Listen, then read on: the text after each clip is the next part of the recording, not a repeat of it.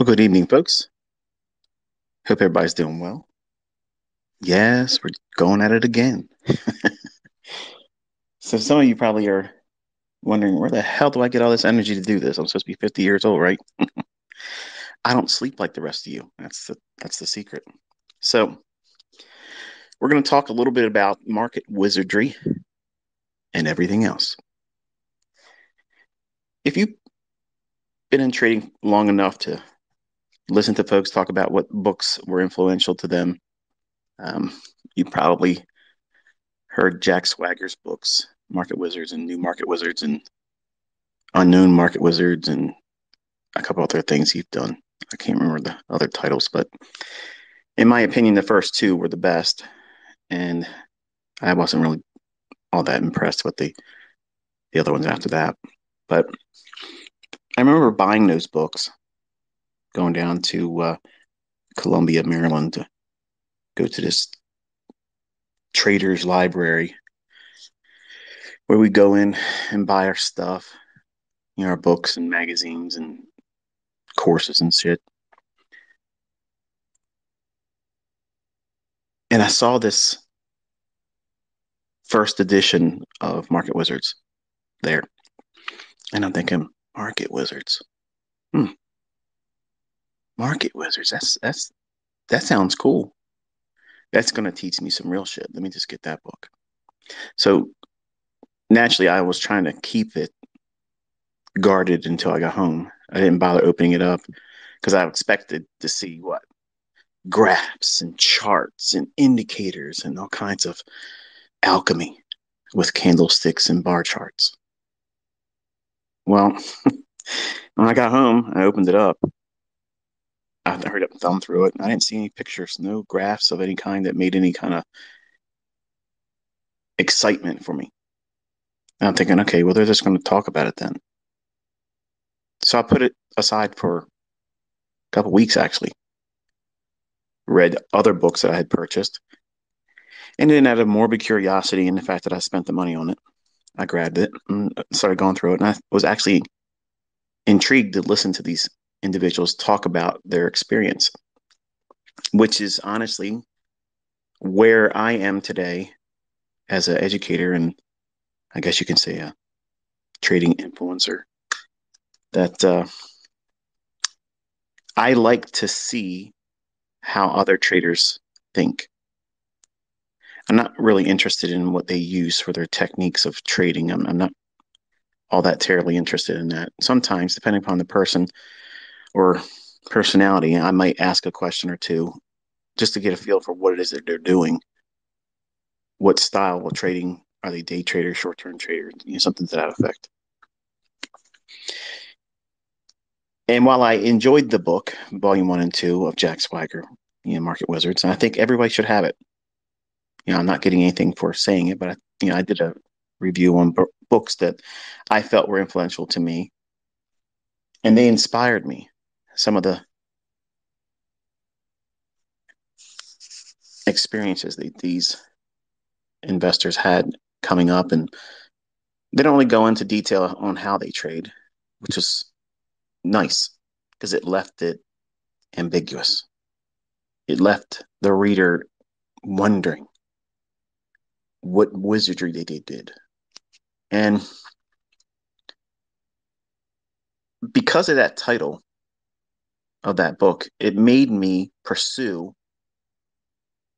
knowledge that would otherwise be referred to as real market wizardry.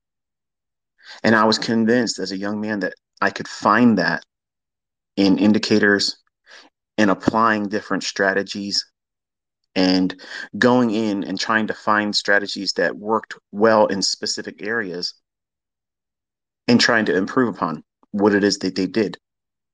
I wasted a lot of time trying to fix things that I knew were broken in other strategies and other approaches. And I coded different approaches to the classic indicators you're all aware of and use now today that I don't touch anymore.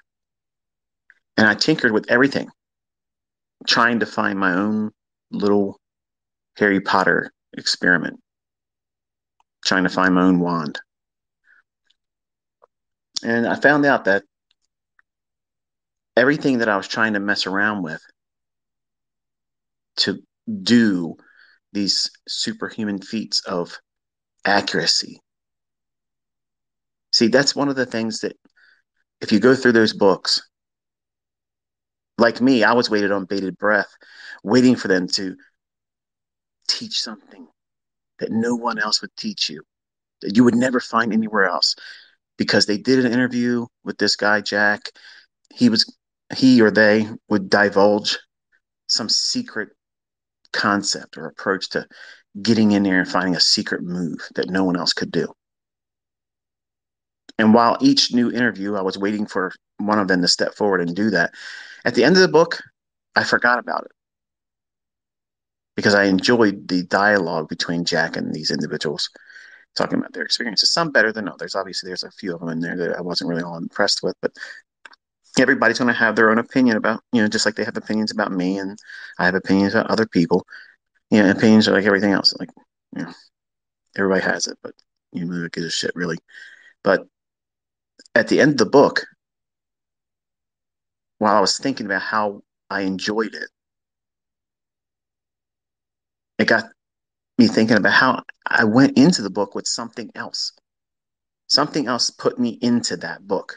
It was the title Market Wizards. It was a great title. Great title.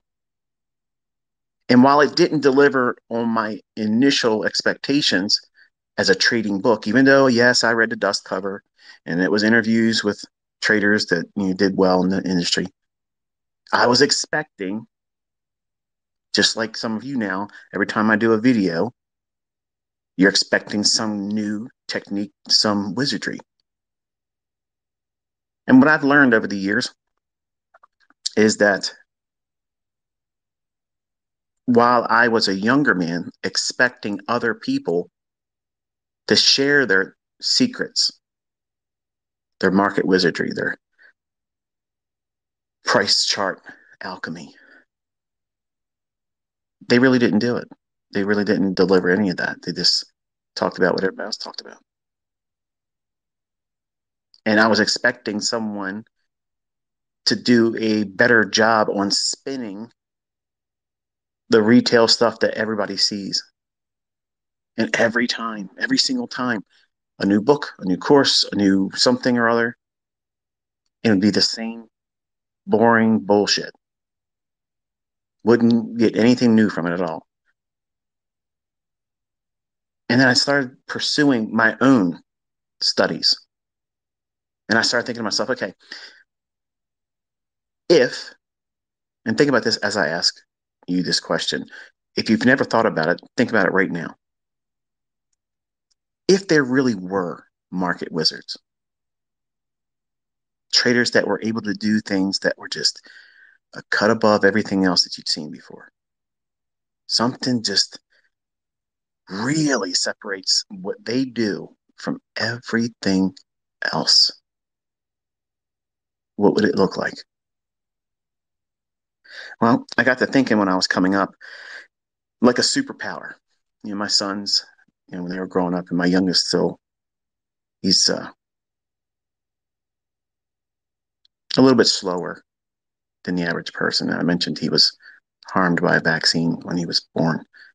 And while he's not terribly slow, he's noticeably slower than the rest of my kids. Bright child, very artistic, very creative,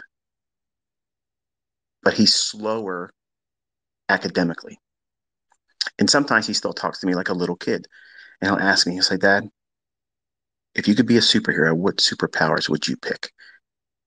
And it's almost like he forgets that he asks me, me this question. Every three or four months, he'll ask it, and I'll tell him, you know, something different because I know he's asked the question before, but I want to treat it like it's a new conversation and a new opportunity to you know, broaden his opinion about what it is that we're talking about. So, because of that conversation with my youngest son, it made me think about this tonight and how I came up learning these things, developing these things, being inspired by how these markets really book price and really taking a step away from what everybody else and what I was introduced to, like everybody else is. You read the same stuff.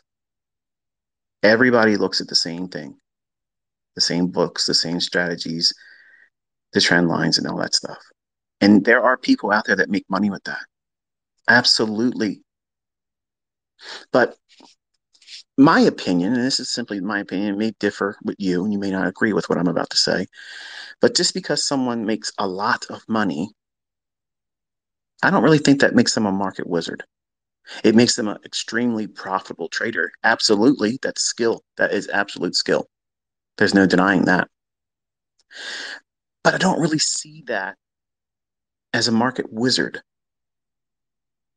To me, that conjures up ideas of precision, accuracy, foresight, higher strike rate than the average trader, knowing not to go into areas where it's not likely to do well, where other traders that are extremely profitable, they'll take more losses because they're comfortable with taking losses and they're comfortable with coming out of drawdown Whereas, in my opinion, a market wizard would be abstaining from that and knowing when not to do those things. So when I was a younger man, I, I made a list of things that I wanted to really focus on. One of them, obviously, I mentioned this many times in, in passing. And if you're a new listener, I'll just toss it in here because you, know, you may not have heard it yet, but you probably will if you go through all the stuff that's on my YouTube channel. But one of the first mentors to me, and I've never met this man, so please don't bother him like other people have done. But uh, Larry Williams, I, I, purchased everything that man put out when I was a younger guy. Whatever he did, I bought it. If he had an article that he did, uh, you know, wherever he did anything, I got it. He was like, he was like my Babe Ruth, you know. He was like my Rocky Marciano, my Muhammad Ali. He he was the person that I aspired to be like. I wanted to be like him, not in the sense that everybody looked up to him because he took ten thousand to one point two million dollars in a year, but because he had tools that I felt were market wizardry. What tools am I talking about? Mostly what he has written in his book, How I Made a Million Dollars Trading Commodities Last Year. It's a 1970s book, but 75% of that book still relevant today. I don't I don't subscribe to the the lunar phases and all that bullshit, but all the other stuff, the, the chapters that he dubs his million dollar tools, they absolutely are exactly what they are titled. If you're a commodity trader, that stuff still works. Most of my understanding of what a mega trade is comes right out of that book. And what I've done is I've heard him in his lectures and his keynote speakings and everything that he's ever talked about and taught on. And wherever that man said he had a difficulty overcoming this, or he tried this, it didn't work for him, so therefore I used that. Well, if he couldn't do it, let me see if I can go in there and figure that out. Because I've always been a person that loved puzzles, jigsaw puzzles, crossword puzzles, word searches. I, that's how my mind thinks. I'm, I'm extremely analytical and I'm obsessive. So if I hear someone say they have a issue and I have an affinity for them, my whole point of doing it was I'm going to fix this problem for them and I'm going to share it with them. And they're going to appreciate me because I've done it that was my 20 year old mentality going into most of what I was trying to do as an initial trader, trying to figure out these puzzles. And one of his lectures, he mentioned how it was a short term trading. I, I, I don't want to call it a workshop. He was standing up on like the stage and he was just talking to the traders and such, and kind of like an auditorium event and it was on the topic of short term trading. And he mentioned how he had no real understanding how to figure out how to buy at the low on bullish days. He would always buy on strength. Most of everything he did, all of his trading systems were buying on strength, buying on strength. If it opens below the previous day's low and it rallies up 20% of the previous day's range, he's buying strength.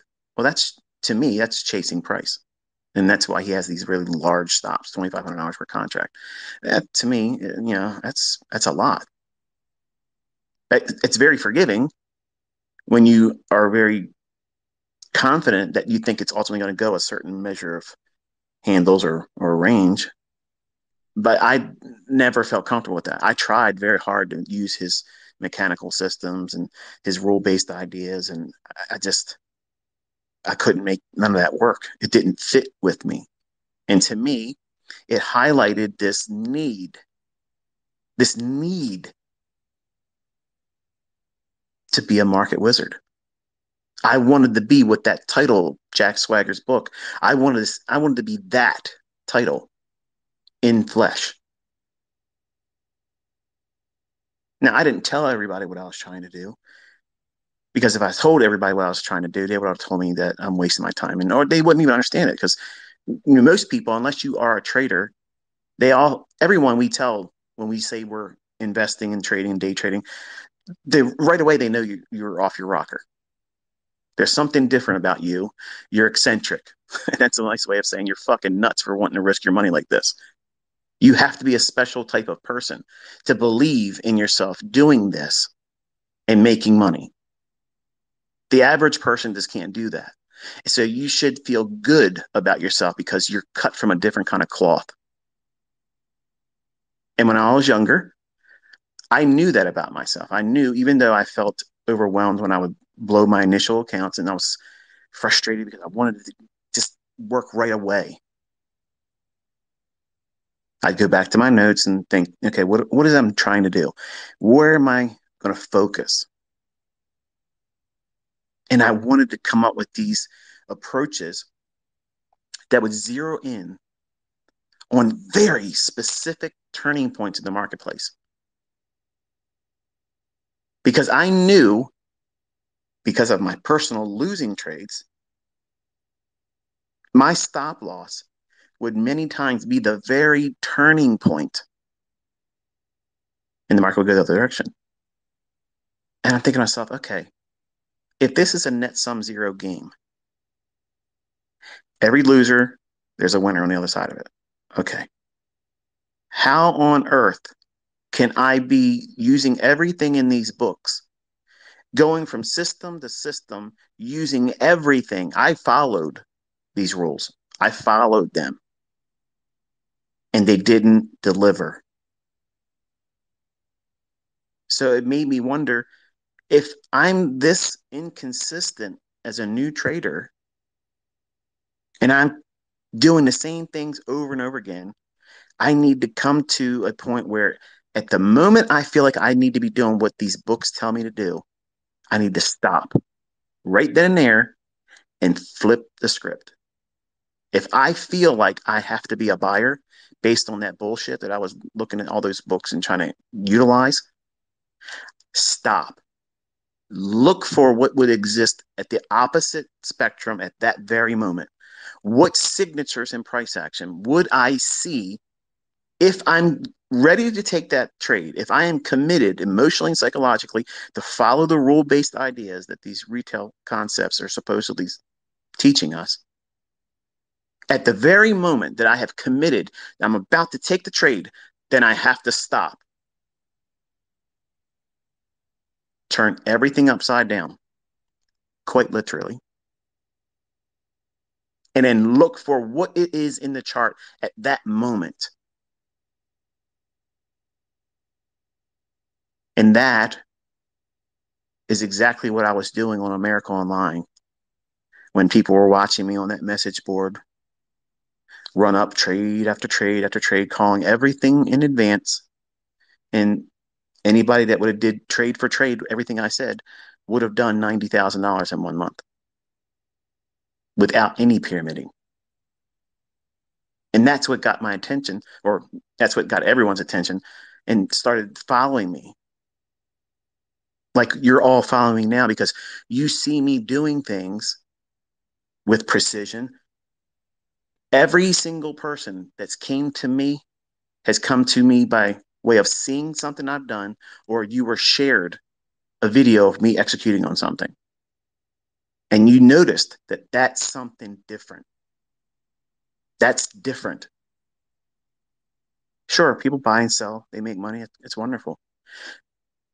But they're not doing these same laser guided entry points, pyramiding and building up and building up and building up and going right to the same thing all the time. Targets filled, targets filled, targets filled. You're not seeing $15,000 max loss days in the same week multiple times. You're seeing levels, thought process, narrative, walking you through every individual candle, and the logic that it should deliver to. And it goes against everything that every book that I've ever purchased tells me. So I sat down, and the first thing I figured out was my power three. Larry Williams says he couldn't figure out how to buy below the opening price on bullish days. Nothing, nothing he had allowed him to do that. That's his words. Was he lying and he did it, you know, surreptitiously in his personal trading? We got to take him at face value. He said he didn't. And that's what I did as a 20 year old. He says he didn't. So that was a personal challenge to me. I'm going to conquer that for him. He was my hero. I wanted to do that and say, here, look, here's my contribution for producing all this material. Who at the time, as a young man, I felt like he did this just for me. Like all the planets aligned. This was the uh, answer to prayer, much like what all of you say about me. I was in awe of his works, his books, everything he did. I was not that impressed with his 10,000 to 1.2 million dollars. I was not impressed with that. Because I understand that that is absolutely nuts. That's not trading, that's gambling with charts. That's what that is. Anytime you're competing in a competition like that, the only thing you're showcasing is your ability to gamble. Now, if you want to have a competition where precision entries, lowest drawdown, accuracy, then absolutely that's a trading competition. That's where world class precision would shine. Because anybody can get lucky over leveraging accounts and doing dumb shit. If you've ever traded long enough with live funds, you probably experienced a run where you kept doing something too much, too much leverage, too high of number of contracts or positions in Forex or shares in a stock. And you had this windfall victory. And you think to yourself, shit, if I could just do that like every other day, unrealistic, unrealistic expectations. So trading competitions, while they're wonderful, they're very entertaining, they're not really showcasing trading skill because anybody can over leverage on one windfall price run. And Larry Williams even said that about himself in 1987. He caught a good lick in the marketplace. That was his exact words. So I don't, I never looked at that and said that was an inspirational thing to me. I mean, I have to recognize it. It's the longest standing record in Robbins Cup. No one's ever come close to it. But I was more impressed with his tools how he utilized open interest and how he looked for accumulation and distribution. And his accumulation distribution formula, while it worked a lot as a commodity trader, I saw it, it was there. It made me think about measuring accumulation and distribution, whereas I never would have ever considered it had he never brought it up in his teachings. So it, it brought this insatiable desire for me to go in pursuing how to track these smart money traders. When I came up with smart money concepts, just like my name, Inner Circle Trader, Larry Williams as my initial mentor, and I call him my mentor because I subscribe to 90% of what he ever said. Now, I probably use about four to 3% of whatever he's used and taught in my own personal trading today. But you can see his fingerprints and his influence over me. And I have still a great deal of respect for him. I'm so thankful that he put his work out there because he could have just said, fuck all of you. And I'm making my money, and there it is. But it's a lot of money to be made when you're teaching. I've seen that. Lots of money. It's real, real easy money to do that. But you have to have something that's worth learning and you have to be able to show that it works and that's one of the wonderful things i get to do with all of you i show you real time i call it live i walk you through it minute by minute and you see it every single day. But these tools where he had his inner circle workshop well like i mentioned in corb's interview i've mentioned also in passing when i was on BabyPips when they were asking me where to get a name from that inner circle workshop i was like shit i didn't i didn't go to that workshop. I wish i could but i'm going to be the inner circle trader and now i am. Smart money concepts. Sounds cool doesn't it? Well that was inspired by that book written in 1970 by larry williams. His smart money tools. His smart money tools open interest, accumulation distribution, commitment of traders, and premiums. Premiums in the sense that you're looking at the commodity market and you're looking at a carrying normal carrying charge market where the contracts, for instance, like if you're looking at oil, okay, crude oil, you're looking at the nearby contract now, whatever it's trading at. We'll just say, I don't know because I'm not looking at oil. Let's say it's $100. And then the next contract in the future that would be traded when the nearby contract expires it should be like uh, $102. It should be more money going in the future. But if it ever reverses, that is considered a premium. And it's an inversion of normal carrying charge market pricing for the delivery contract months for a futures contract. And that means there's a real high fevered pitch demand, real demand. So supply and demand does work in that asset class. There's a real supply and demand need for commodities. You need it. You need oil. You need gold. You need grains. You need meats. You need coffee. I don't drink it. It's horrible. But people, you know, they need to have that for their fix and caffeine shit. So all of that is a real supply and demand asset class. It, you, you can measure real supply and demand there. You really can't measure real supply and demand with a share of stock or a currency. There's a synthetic approach to doing it, but it's not the same as seeing it with a market like a commodity market, grains, you know, real tangible things, grocery store items, basically sugar, cocoa, coffee, orange juice, meats, you know, cattle, hogs. So I have a lot more tools and concepts than Mr. Williams introduced to the trading universe and community. But I absolutely subscribe to those that he taught because they are essentially how you can carve out the understanding of real supply and demand in the commodity markets. But I'd never felt like that was enough. I always wanted to do more. I wanted to over deliver and have an arsenal of weapons. One weapon that was good for when the market's going to reverse and go lower. One weapon that I wanted to use when it's going to reverse and go higher. One weapon when I'm going to trade in a trading range. One weapon when it's going to be an extremely hard, one directional trending model. Very little retracements.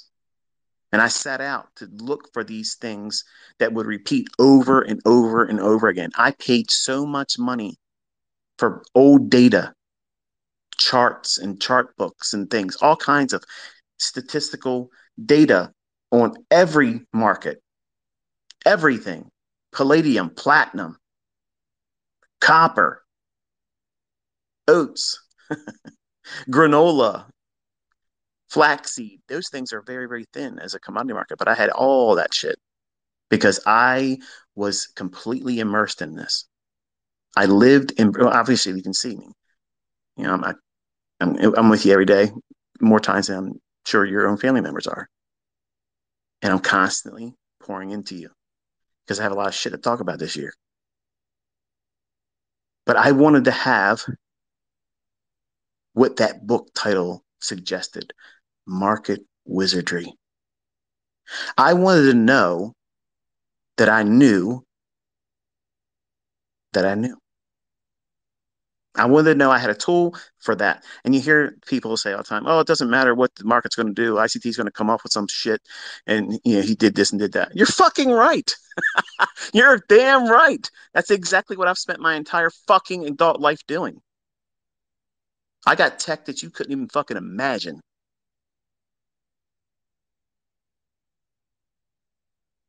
And I'm sharing it before it happens, proving it.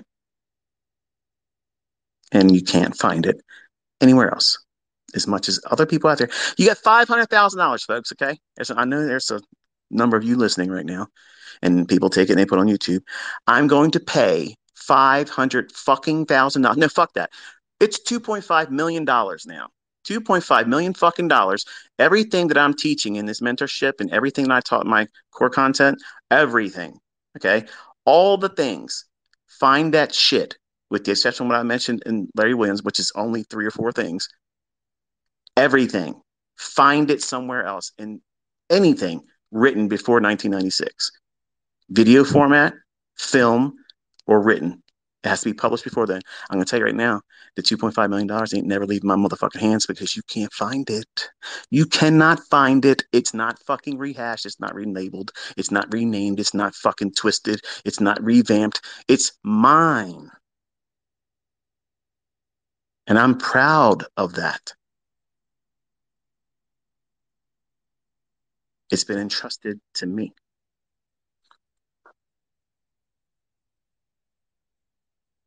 So when you look at books that talk about market wizardry, technical science, I I coined that shit. I coined that. Say there ain't no technical science. Well, boom, it is now. ICT's bringing that shit. Now think about it, folks. I asked you to contemplate on what it would look like if there was really market wizardry in trading, in speculation. What would it look like? Would it look like having a map of how the market would trade in the future, almost 75% of the time doing the same thing over and over again? Wouldn't it, wouldn't it have something like that? Yeah, yeah, yeah. That's a seasonal tendency. Moore Research. Okay, Steve Moore has the absolute fucking best, the best seasonal tendency work that's ever, ever been produced. Steve Moore is the highest pinnacle of seasonal tendency research, data, and resources. And what he sells is ridiculously underpriced and he probably doesn't even know who the fuck I am. but I've been repping his ass since I was first introduced to him in 1995. Anybody that's ever said anything about seasonal tendencies, unless it's coming from his work, they're absolutely full of fucking shit. Sorry. You might have your heroes and shit, but I'm telling you, there ain't nothing like that. What that man's put out and compiled, unbelievable, just beautiful, beautiful resource. Seasonal tendencies are a real fucking thing. Now, they're not going to work all the time. And books don't tell you when they're not going to work. So, where did ICT go in there? I want to know when they're not going to work. And by knowing that, I know when they're going to fucking work. Oh, shit. Yes. yes. That's exactly what the fuck I did. So, a market wizard would have what? A map. A map that leads to the forbidden zone, the inner circle, where the average person's not permitted to step in and angels feared to trot. Ho ho.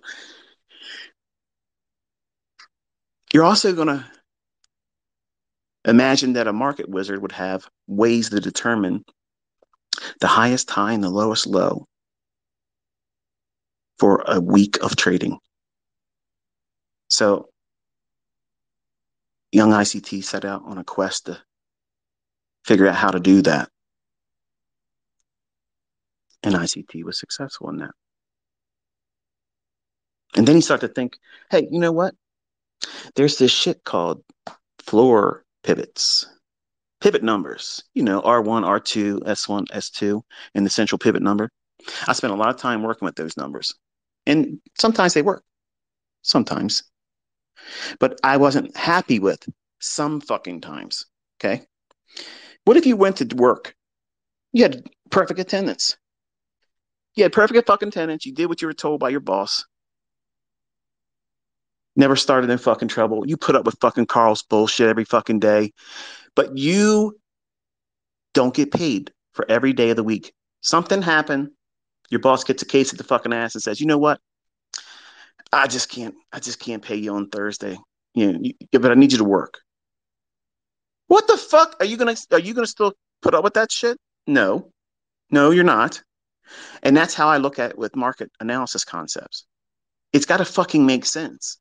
Because listen, if there's real probabilities behind something, you should know when they're in favor and when they're not likely to be in favor. Now, that does not mean you're going to know with 100% strike rate. That that's not possible. You're you're human. I'm human. You're going to do something. You're going to have some kind of emotional charge behind it. Someone said something to you about it on, on the internet. Your concepts don't work. Okay. You're going to go out there and try to do what? You're trying to shove it right up their ass. So you really want to see that trade pan out and you're stalking it. You really want it to happen. Well, is that really trading clear headed? No. Absolutely not.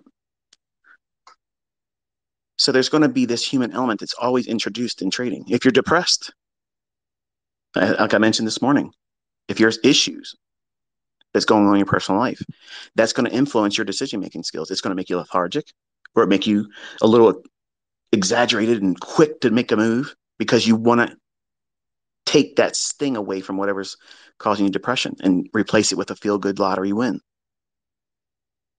But you have to have a faith in understanding that what we do as a trader, there's something behind these catalysts, these triggers that cause us to get in a trade, to place a stop wherever we're going to place the stop, to risk as much as we're going to risk, and the target where we're expecting to see market trade to as an objective or a terminus.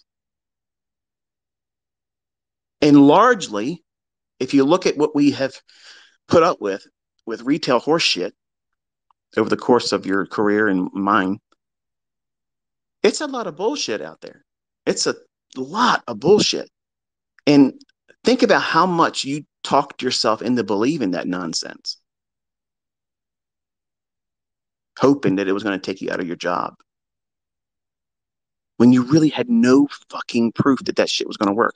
It was just a whim, a hunch. Oh, it's a, a, a hope, a wishful prayer. Man, I hope these moving averages and animal patterns lead to me making money so I can get at my job. I hope these Gartley patterns deliver these butterflies and bats.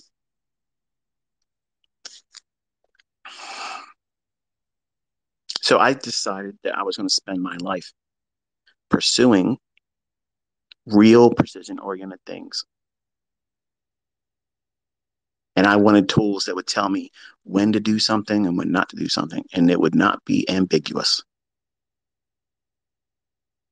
So I sat out and looked for when the high of the week would form and when the low of the week would form and what days they would form. And where was I inspired by that? Larry Williams. He would have this thing called Trading Day of the Month. Now, they weren't all that accurate, but the major turns, and let me, let me paint a picture for you. Imagine a seasonal tendency for the S&P and the bond market over the course of each individual month. So if you have trading days for the month, we'll say an average of 20 trading days, Monday through Friday, four weeks or whatever. And what the market typically did, he crunched the numbers and he, he spit out this data that said, by far and large, this is usually what the S&P and or the bond market would do for this month of the year. And when I first saw it, I was like, oh shit, I'm going in there. And I, every single day, if it was a, a down tick on the line chart, that's basically what he was showing you, then I would sell short. And I got my ass handed to me. And then what I started doing was, and it really wasn't a smart thing to do, but I was impulsive, obviously, as a young man, and I was trying to make a lot of money real quick. But I noticed that the key turning point for each trading day of the month template that he produced and shared. If I just focused on the highest one when it was getting ready to go down, I was waiting for that one to occur. And then the next day, then I would look for the trade to go short. So I was using it as a confirmation. But it really inspired me to look for things that would tell me what? A roadmap. Not only over a seasonal tendency that I get and have openly shared and told you, Steve Moore from Moore Research, you can Google him. His service is the absolute fucking bomb for seasonal tendencies. It is so good.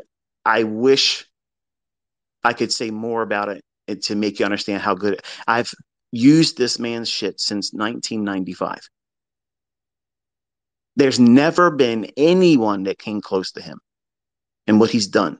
His material and, and, and the work in seasonal tendencies is the highest degree. And I get absolutely nothing for saying it except for the fact that I'm so thankful that he didn't keep it to himself. And what he sells it for, dirt cheap. It's ridiculous. It's it's it's it's crazy because he could sell it for a lot more if the traders that looked at it knew how to utilize it. Because the way he teaches it, in my opinion, um, it's not how I use it. But he talks about the best seasonal tendencies, kind of like filters it out for you. But that whole approach to thinking about seasonal tendencies like that, and then over the month, what does the S&P do for that particular month? Where's the main high and where does it usually go overall? If it's going to be a big down swing, the fifth day of the month, and it just keeps on going lower into the, the remainder of the month, that tells you it's going to be a really bearish month typically. And I'm not here trying to share or teach Larry Williams stuff. I mean, I don't know if you can Google it or find it anymore, but it was all part of his workshop. And that idea inspired me to go in looking for things that would give me an insight. And I literally scoured every fucking time frame on the S&P and on the bond market. I literally stripped those two markets down to ticks for years of data. I would have that shit in books, in spiral notebooks with me in my truck, delivering candy bars and fucking tasty cakes, coffee, and sodas and shit. And when I had one or two minutes sitting at a stoplight, that page was already open for me to start looking at shit again. I, I was a nut with it. I needed to constantly be a sponge. And every time I saw something, new ideas, new, no, I wouldn't say epiphanies because there was a lot of things that I thought I was being led to look into and they really didn't pan out. They were just dead ends. but over the course of 15 years, 18 years, most of what I have today that is who I am was derived from all of that shit, digging into things that really was an inspiration to be nothing like anyone else. Like I wanted, I wanted to be able to sit down with a Larry Williams, you know what I mean, and and say, "Here's what I've done." And I, will, I knew if I ever had an opportunity to see this man, and I just had to tell my oldest son uh, yesterday, I said he's in his 80s and shit, so he's old. But I would love to meet him, shake his hand, and then show him what I have done, and say, "Look, your shit's awesome." In the 1970s, I was fucking brilliant shit. But look what the fuck I've done. look at this shit. Look at this. This is nuts. Like, how many times have you seen me call the high and the low of the day? Now, granted, I was off by a point today. Okay. It happens. I've already made concessions, you know, with that and told you, hey, look, you know, sometimes I'm off a little bit. But I do this day in, week out, month, year, everything. I've been doing this for years. Quietly in my own little corner of the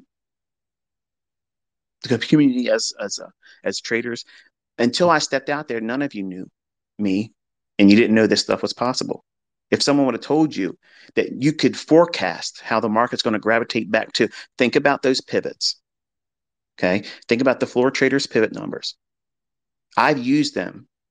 And many times the market would just smoke them, go right on through, and don't. It's like they weren't even there. So what happened? People started doing what? Tinkering with it.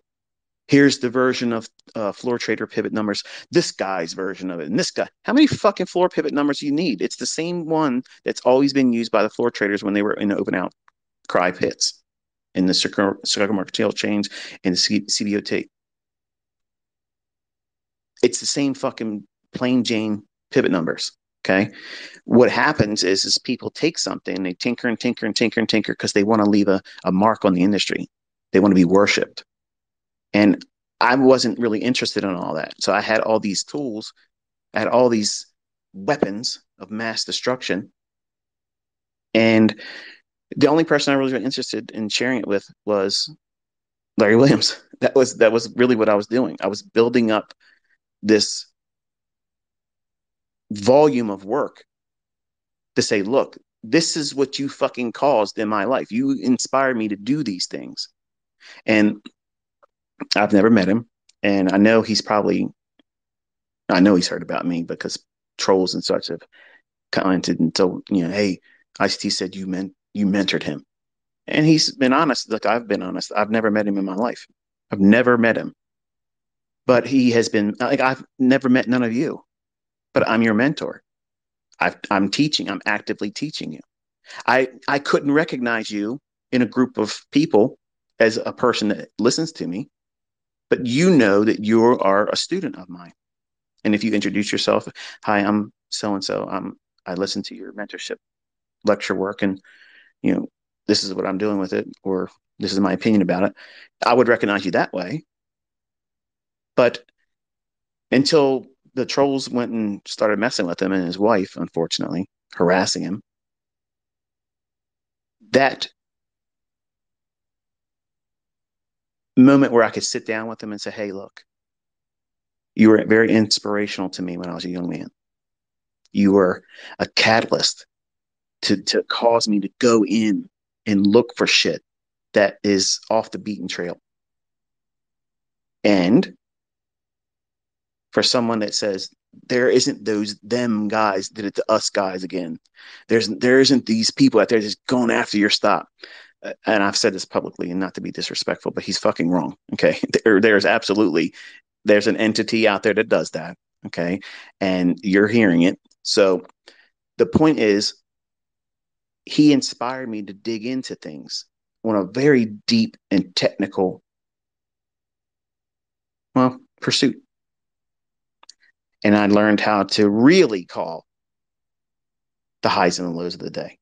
Where when you think about like when we were younger, back in the the 90s and, and i'm saying that man, some of you probably are listening they're older than me and, and have, have, traded using pivot numbers and shit like that. And you're laughing yourself i was using that shit too back in the day. But it wasn't really consistent with giving you the high and the low of the day. Usually you get one or two of the levels be hit and that would be it. Usually the one level S1 or S2, the support level, one of them would be real close to the low of the day. Sometimes. And then other times it wouldn't be anywhere around it. So I was really never satisfied with that. I believed as a young man, once I started digging into the data and started seeing shit, I'm like, okay, this keeps repeating. I see this. Like I fucking see this thing. Okay. This little thing that I called and dubbed the fair value gap. It's much like when, well, it was my nephew. No, not my nephew, my cousin, Aaron, my Uncle Stan's son. When I sat there and watched him coming up, and he used to read these little highlight books. They're called highlight. And it's kind of like a children's activity book. It would be mailed to your house every month. And in one page out of this book, I like to get it before he did. Before he came home from school, I'd already look at it and I wouldn't mark it up, but I would look at it because there's a page in there that is a hidden picture book. And what it is is these little things. It's like a sometimes I'll draw a cup or a candlestick, a literal candlestick, not a chart, not a chart like we look at candlesticks, or um, a shoe or a needle, something like that. And they hide that picture inside of a picture. So I've always been into shit like that. Like I look for that kind of stuff. I'm uh, analytical. I'm looking for patterns within patterns. I'm looking for, you know, shit that isn't typical. A puzzle. So when I started looking at price action, I was convinced that if I looked at it hard enough, studied it long enough, and turned every fucking thing that I've ever learned as a retail minded trader, the shit that we're told to look for, what would be the fucking opposite of that? An indicator that tells you what? If it's saying it's overbought and retail is going to say it's time to look for bearish diversions and it's going to go lower, well, shit, I'm going to go in there and I'm going to look for a drop down into a fair value gap when it does that. And then I'm going to buy that motherfucker and I'm going to reach for buy side liquidity because that's exactly how I lost my ass in my real accounts as a 20 year old. That shit. Don't believe me? Go on your fucking charts. I'm not going to repeat it. You can rewind this when you listen to it in somebody else's YouTube channel because I don't put these up on my YouTube channel. I cuss too much. it's therapy. Okay, I don't give a shit. You can make revenue off of this. You don't do not put my videos. And it's a there's a guy out there right now. And let me just say it right now. There's a guy out there that's taking my videos. I'm about to rip your shit down off of YouTube. You're taking my videos and you're trying to compress all the talking points out of it and just get to the nuts and bolts. And I'm about to put a copyright strike against you. You know who you are, so take them off your channel and there won't be a copyright strike. I don't let anybody take my videos and re upload them. I don't want you to do that. You've not been given permission to do that. Don't do it. But these Twitter spaces, I don't give a fuck how many of you do it. I don't care. I will never put them on my channel. So if you want to monetize them, you want to get grocery money off of it, God bless you. Go do what you want to do with it. I don't care. So, but I got these old bones cracking. I set out to look for these repeating phenomena in price. And I started seeing these things in at the time I was looking at open, high, low, and close bars. So that really puts a big strain on one's eyes. And I was never really early on a fan of candlesticks because I thought it was like a cop out. Like this is like preschool. Who the fuck wants to look at that? A real chartist looks at the left tick, which is the opening price, one single line up or down, which is the open high. I'm sorry, the high and low, and then the right tick to the vertical line that creates the high and low. That's the closing price. So it's open, high, low, and close. So I I put off using candlesticks for a long time. And I wish I would have done it sooner. My vision probably would have been spared a whole lot of fatigue over the years looking at that shit.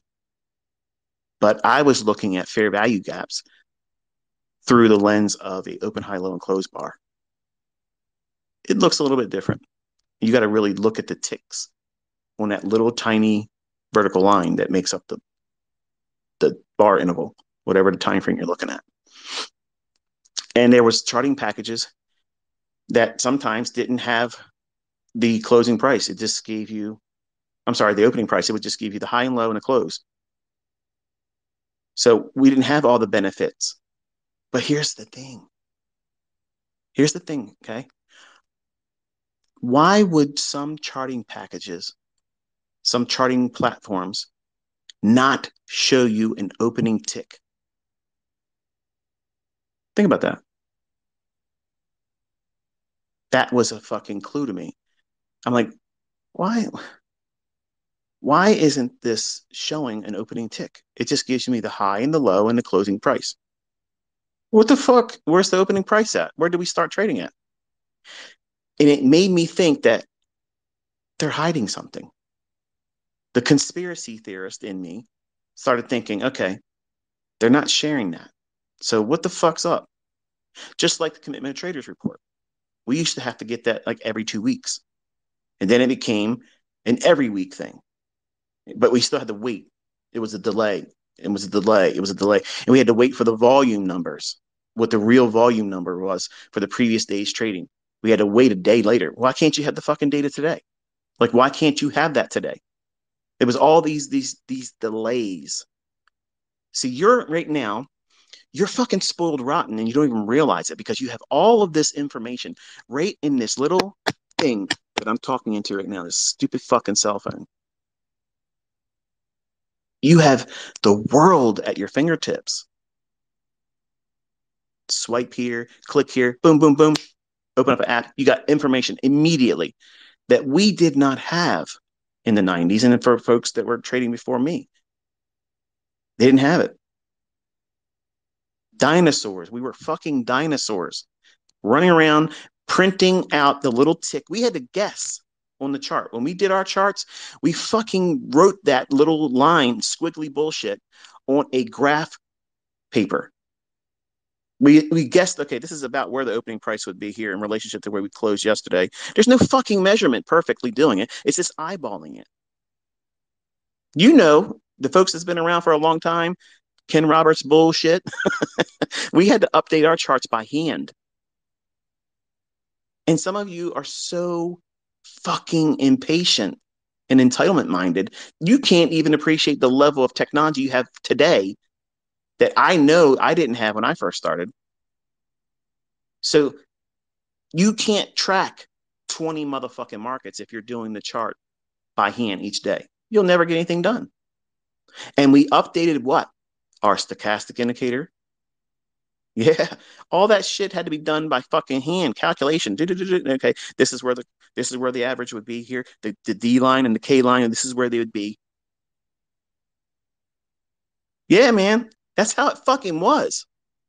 It's worse than your grandfather walking to fucking school and the store with no fucking socks on and flip flops and knee deep fucking snow. You heard the stories too. I, everybody hears the bullshit, right? But in trading, this is the really real shit. This is how it was. It was some archaic fucking shit that we had to deal with. And data was a premium commodity. If you could get your hands on data, that's what we were pursuing all the time. And I poured myself into that. And I started seeing these things repeating by reversing everything that retail would expect every trader using it would be doing. Just because an indicator says it's over fucking bought does not mean that's a short. Just because it's overbought and then it diverges bearishly doesn't mean it's a short. Even when the market's going down, it doesn't mean shit. Doesn't mean anything. It just means that you looked at a number of candles in that interval of time, you crunched the numbers, you beat the shit out of the data, and you finally made it submit to whatever output you want. That's what indicators do. That's all it does. And when you hear somebody say, we're optimizing our, uh, your bullshit, your form fitting is what you're doing. There's no optimization. It's form fitting. That's what you're fucking doing. So when I looked at data and I looked at times where everything in my rules using retail bullshit said, okay, this is a buy. At that moment, I stopped, turned everything upside down, and I would go into the price action and say, okay, where is the fucking short? What things keep fucking repeating that cause this market to tear my ass up and go the other direction? And then it appeared. Order block, breaker, mitigation block, fair value gap, institutional order flow entry drill. What you know as the flagship, well, now it's probably not the flagship pattern anymore on my channel, but the optimal trade entry, that logic, I saw that formed on a uh, on a corn chart. The, the the very thing that I looked for. I'm sorry, I, I, that's not true. I'm thinking of the reflection pattern. Reflection is the reverse of the optimal trade entry, where it makes the higher high, usually forms the breaker. And some of you are like, oh, what did you just say? A reflection pattern. That's some old school shit, man. But those patterns, they were found by looking at shit opposite to what we're told to do. And you see when I'm executing, just just read the comments. It's fun reading it. I love it because they're like, how the fuck is he doing that? Right. And that's exactly what I was saying to myself. How the fuck am I losing all the time? I bought all these books. I'm following every fucking rule these guys are saying. And every fucking time I do this, it's going against me. How the fuck's that possible, right? That's that that's that's what most of us would think if you're trying to stay in this. The smartest people are the ones that know they can't do this and they stop. That, that's that's wisdom. That's not that's not weakness. Because if you know you can't do this, you want to know as soon as you possibly can come to that conclusion, so that way you don't waste any more money, no more time, and no more peace of mind. But if you listen to things like I'm doing right here, you're a fucking traitor. Nobody would listen to somebody bloviate like this unless they absolutely fucking love trading. They love everything about it. They love the analysis. They love the lifestyle. They love every detail, everything that makes up this industry and what it is. You live and breathe it. You don't really like me. You just like the fucking shit that I'm sharing with you because it's empowering. You know a superpower when you fucking see it.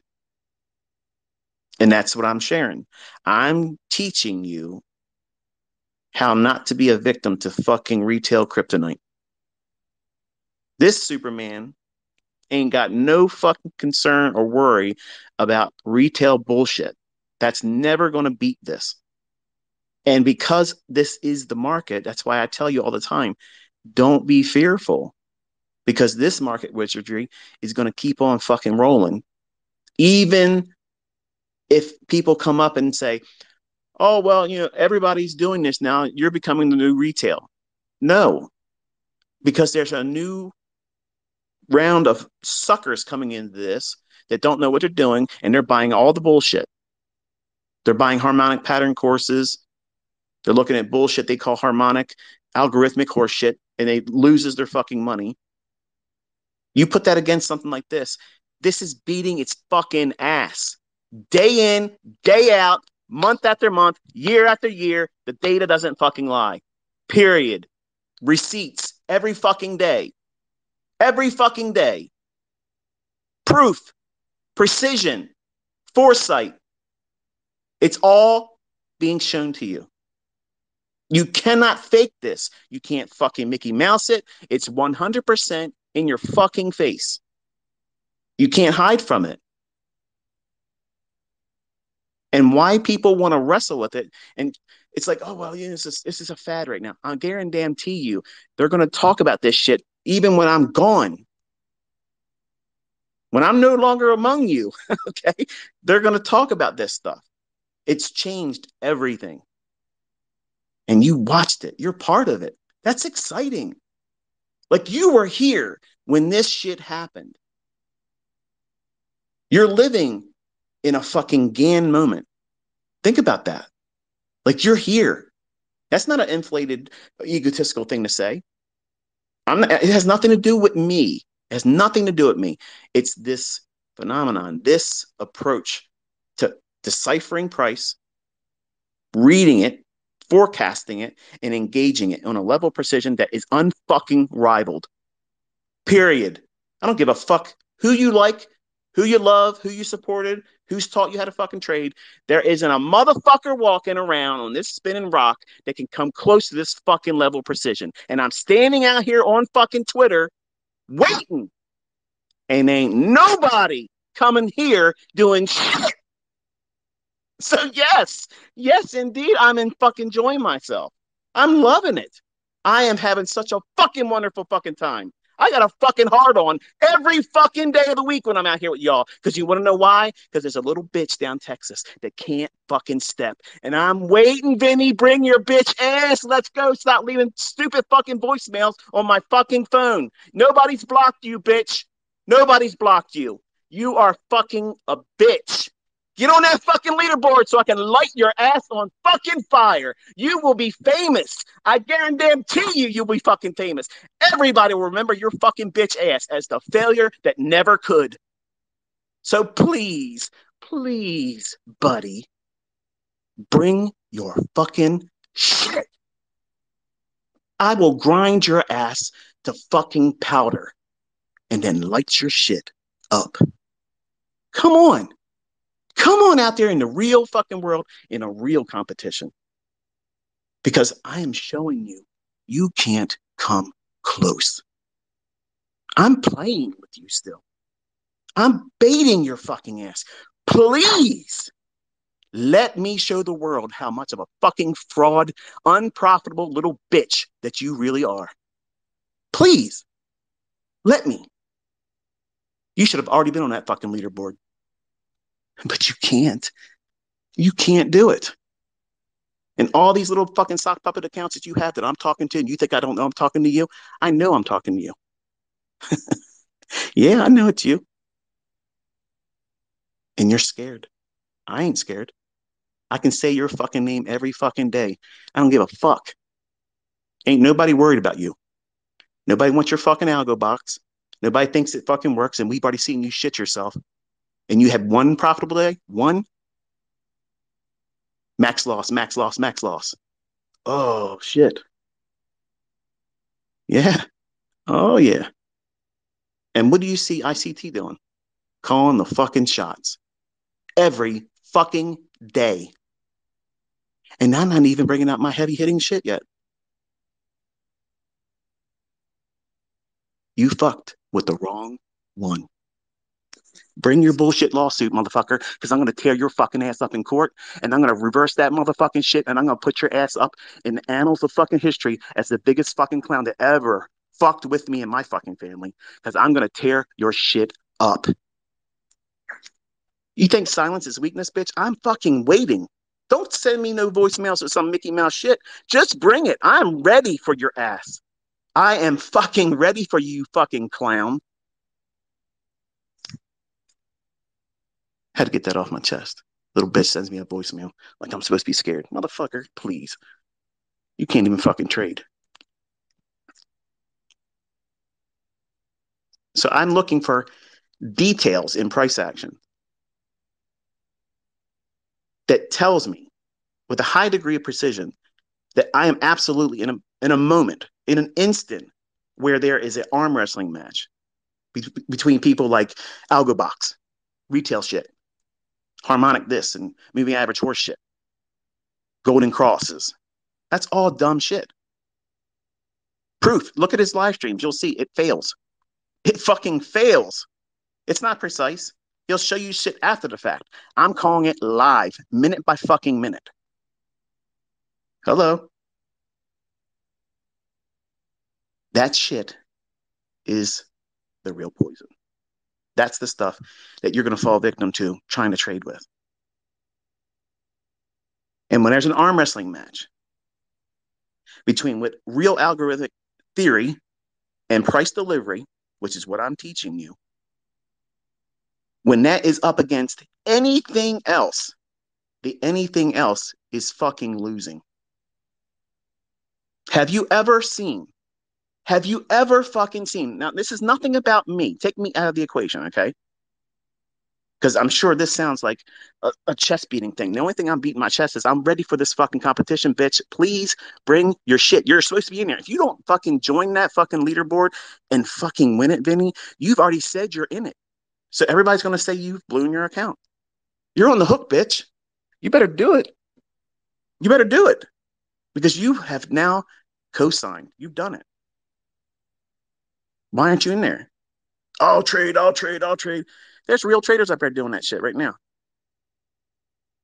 You ain't stepping into that world because you can't fake it. You can't reset your simulator account. You can't hide your bullshit stats. It's out there for everybody. And I'm out here without a safety net. I'm calling this shit. Oh, but you're not pushing a button. I don't need to. I'm giving you every fucking tick before it happens. You can't come close to this with anything. Any of you. Not one of you out there can come close to this. But have you ever seen anybody share a level of consistency, precision, and theory that repeats every motherfucking day? Have you ever seen it before? Because that's what market wizardry looks like. That's what it looks like. You're handling it, you're seeing it, you're seeing fucking proof of it every single fucking day. And I'm choking these motherfucking bitches that had all this shit to talk about before I came back to Twitter. I told you I'm here. I'm here. Oh, I can trade better than you. Show me. Oh, my Velcro balls just dropped off. Sorry. I'll talk to you again when I have something else to say in the response, but I can't show you my trades. I'll show you my trades. I'll show you my trades one day. The fuck out of here.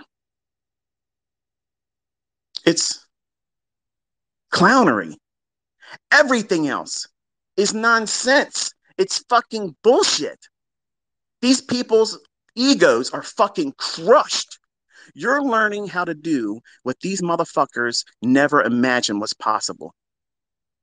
And they can't stand it.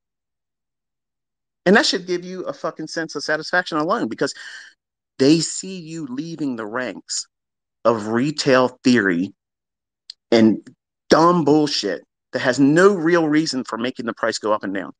Your indicators, there's moving averages, anything harmonic, none of that pushes price up or down. It's not having any effect on fucking the price movement. It's doing nothing. Has absolutely no fucking clue that that shit even exists. It's not referring to any of it. But isn't it fucking strange? Isn't it odd that the things that I'm showing you I even gave you the fucking chart before the week even started trading. Here you go. Here's the new week opening gaps. Have this on your chart. And then I shared it before I started this stream tonight. That's what you want your floor pivot numbers to look like. But they don't do that, do they? Oh, shit. This is the kind of fucking stream. This is the kind of fucking space that gets you fucking fired to fuck up because it's proof, it's fucking evidence, and it's undeniable. And ain't a motherfucker out there can say anything about it. They can come around and they can tweet and they can say all the bullshit. Oh, but you didn't do this, ICT. But you didn't do this. I ain't seen a motherfucker call it tick by tick like I'm doing ever. It's never happened before. and I told you all, I could do this shit.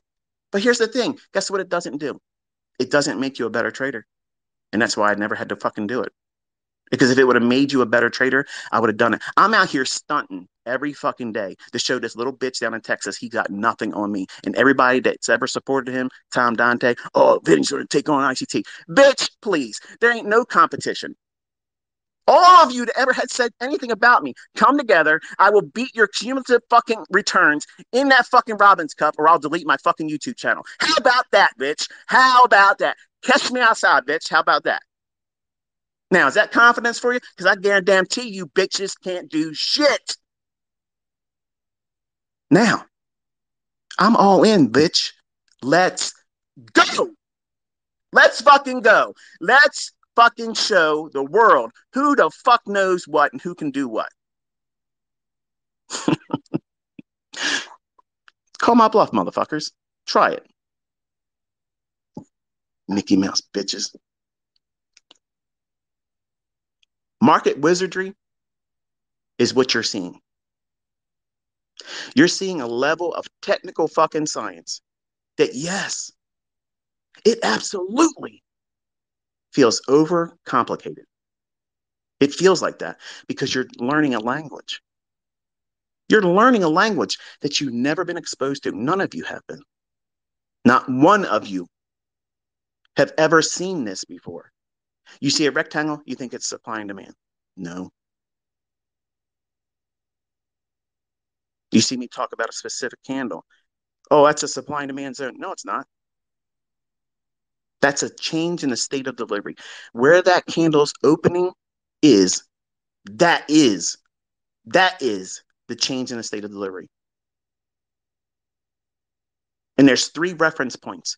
There's three specific price levels that you need to know about an order block. Look at supply and demand zones. Who the fuck knows what you're going to do with that? Where's your price? What price are you going to look at? Which one are you not going to consider at all, ever? That's how you know my theory is not supply and demand. And I'm cutting through candles. I'm telling you the high tick and the low tick of the day.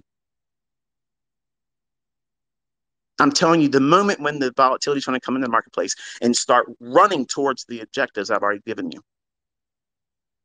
That's what market wizardry looks like. That's what it looks like when somebody knows what the fuck they're doing. Today, I recorded something that you would have never seen if I didn't want you to see it. If I didn't want you to see it, you never would have saw any of it. But I want you to see it. You saw me put the trade on. I told you the level. I said it goes to 4,000, I think 4,000.75. I said it kills the the short idea. Whenever I tell you that, that's a stop loss area. That's not me telling you to take a trade now, but I want you to track the, the ideas that I'm giving you. If it goes back to those levels, you got to think about it as okay, that would be a stop out. You shouldn't have a trade on. You shouldn't do that.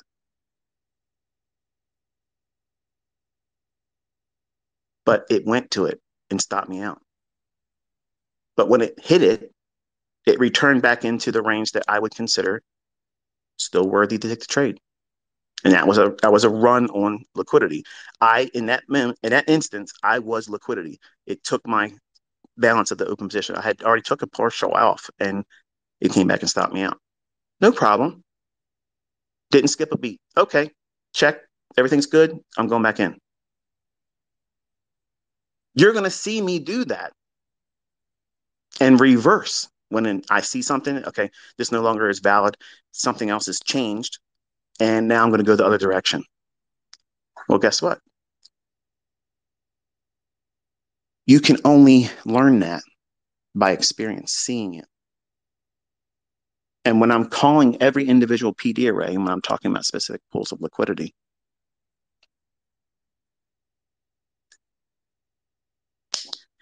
you're measuring the algorithm's interest in getting to that level or not. If I like a buy side liquidity pool, I'm watching it. If I say this is the draw on liquidity, then that's directional. If I say note this buy side, that means we're watching to see does it have an interest to get up there? Once it gets there, then the insight that we get after it hits that, then it'll give me the next idea about what I want to do. I'm waiting for more information.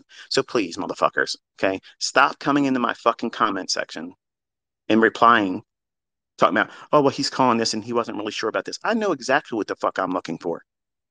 I know exactly what I'm looking for, but I'm also teaching you how it is I'm interpreting every single price fluctuation, every pool of liquidity, every inefficiency. I'm looking at those very specific points in price action and I'm waiting for price to get to that level. If I say the words, this is object, this is the objective, or this is the draw on liquidity, that's absolutely one fucking sided. That's where I'm expecting it to go. You've seen me physically say those things in my tweets today. You saw that happen. They were not ambiguous. I favor the short side going down into 39.88. That is one way. That is not well, it could be either way. Bullshit. I know exactly what I'm looking for, and I'm communicating it effectively for those that are fucking able to read and comprehend what I'm saying. If you're pushing buttons, taking trades, you're going to look at, oh, well, you know, he, he said this and I got confused. You didn't get fucking confused.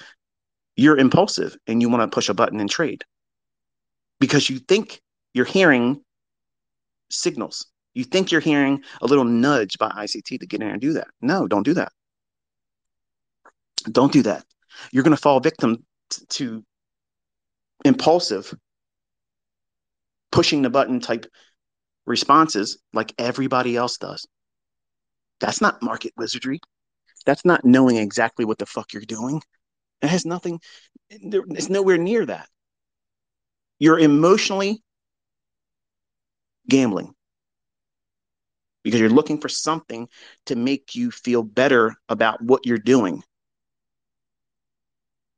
Whereas a trader, when we go in and we speculate, we don't care how the outcome is going to make us look to other people because we're not trying to share our results with other people. So, guess what that means? Image has nothing to do with it.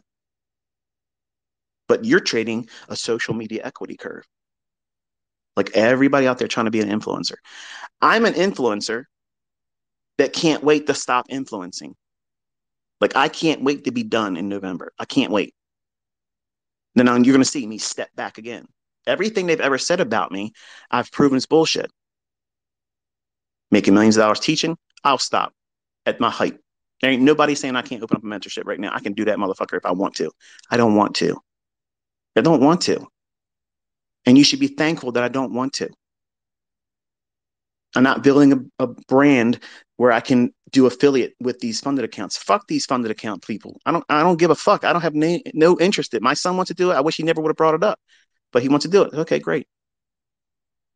I'm not going to have no affiliate link getting some kind of fucking money off of it. Fuck all that bullshit. No signal services, no mentorship, join my group bullshit, none of that stuff. I'm pouring everything into you this year. And all you have to do is show up every day. You'll see receipts. You'll see proof that it works. I'll call it beforehand. It'll be fucking clear as fucking day by the end of this year. You'll know exactly what the fuck you're doing. Now, let me explain something to you. This this topic tonight. You're not going to be a market wizard in November. That's not going to happen. What you're going to know in November, so that way you have a real clear understanding about what you're working towards What's the end goal for you? What is the end goal for all of you that submit to everything I put you through? What is that? It is that you will confidently know when not to do anything and be still and know that there's no reason for you to be worrying about missing anything. That's the number one thing right there. That in itself will protect majority of you from blowing out your funded account or blowing your regular trading account. Everybody that blows their account always can see it in hindsight that they pushed really, really hard when the market wasn't doing shit. You have an outcome that you need to have happen on a social media equity curve. You need to make yourself feel better because your spouse or your significant other has caused you some grief. You're sick. You missed some days at work. You're behind in bills, or you're just in debt. What's it going to do? It's going to cause you to do reckless bullshit. You're going to know not to do that and by November, well, before that, really. But by November, you'll know when not to do anything. You'll know when not to touch any of that stuff. You won't go into the marketplace. You won't do these things. And you'll know what you're specifically looking for when you're going in in environments where it's low resistance you'll know exactly what constitutes a high resistance or low resistance climate that you're trading in. You can trade in high resistance, but you'll also know that you'll be using far less leverage. And you're going to have to demand a whole lot of patience that you would otherwise not require when you're trading in low resistance liquidity run. Where the market's really quickly running for you, it goes right to your objectives that's what you're wanting to focus on. You want to focus on those, those types of setups. They're fun. They're They're easy to know when they're going to be there because those signatures are like they're very telling. And you see it when I talk about it in my executions. I'll say, all right, I'm looking for a lot of movement, or I'll tweet and say, okay, I want to see it be a straight run into this now. That's a low resistance liquidity run. When we are quiet and we're waiting for price to just chew through some old market structure, that's high resistance. It's high resistance. It's not moving quickly and efficiently through and to your objective. So it takes a different type of mindset to go through that. Now, when you're first learning how to trade, you think that all trades are going to be like a low resistance liquidity run where you get in, it runs because it owes you something, right? It owes you that profit. The fucking market doesn't owe you shit. It doesn't owe me anything. But these books and influencers make you feel like, well, hey, you know, you sat down, you watched that chart for the last 20 minutes. You, you damn well better play, pay me something, you know, because, uh, you know, it owes me something. That's the mentality, especially today. The last 25 years, this is the mindset of most everybody. You owe me. You owe me. No, you have to earn that shit. And by dis- discerning the difference between high resistance and low resistance liquidity runs, you'll be able to effectively trade and you'll grow to appreciate and want to trade more so in low resistance liquidity run signatures where the market is quickly just runs it has these really nice big candles it just takes off and goes right where you want it to go. I know how to teach that. I prove to you that i can see it happening before it happens. There's a logic there. That's what you're going to know come november. You'll know that. You will absolutely know it Will you lose in some of your trades? Sure, you will. You'll lose, and there's nothing wrong with losing because money management, which we'll talk about also this year, will prevent you from blowing up. You don't have to be fearful of it. You don't have to worry about missing moves. You don't have to be in every trade. And you don't have to be in every market. You can pick one market that you feel confident in, that you like, and then that's all you need. It makes it so much easier. You know what those key levels are. And think about what I'm teaching you. New week opening gaps, new day opening gaps. Just that alone and the enormity, enormity, I'm making up shit as I go along, enormity, the enormous responsibility of managing all that shit on your chart and templates because new day opening gaps, you know, there could be a lot of them, right? So, how much of that can you do if you're trading 12 pairs? Well, wait a minute. ICT, what what if there's no no new week opening gap? Um, here's what you're not doing. When you look at Aussie dollar, this is the part where you write down in your in your journal. If you look at Aussie dollar, that currency pair has what? It has a commodity currency in it, Australian dollar, which means it trades on the futures market. That futures contract is going to have an opening gap.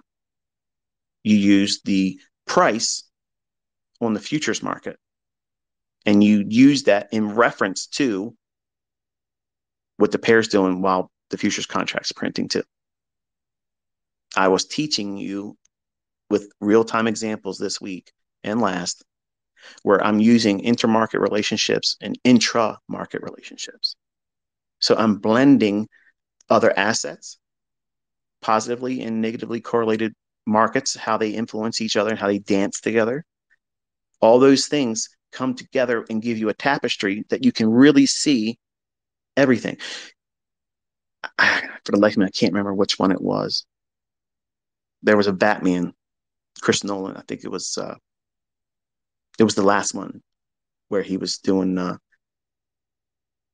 Morgan Freeman did something with the cell phone, and all of a sudden, all the monitors in front of him was like giving like a um, like an X-ray view of some shit. Okay, that's kind of like what this feels like.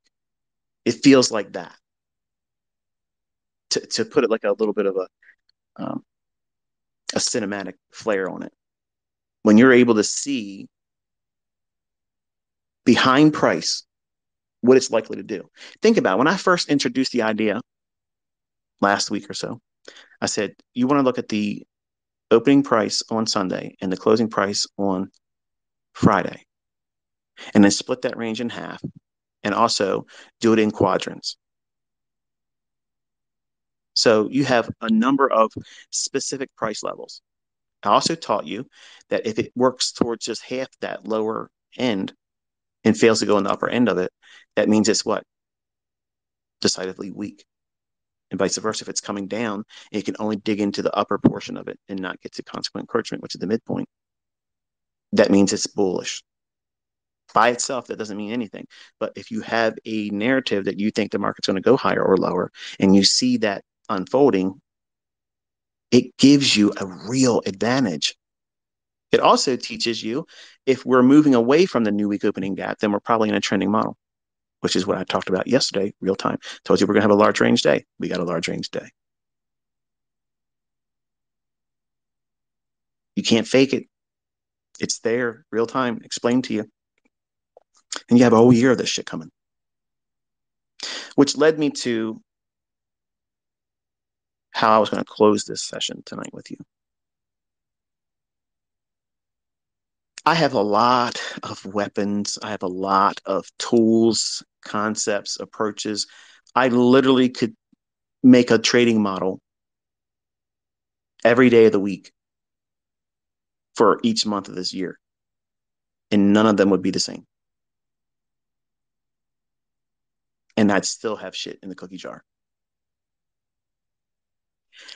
I spent my entire life coming up with every possible fucking scenario to get me into the trades.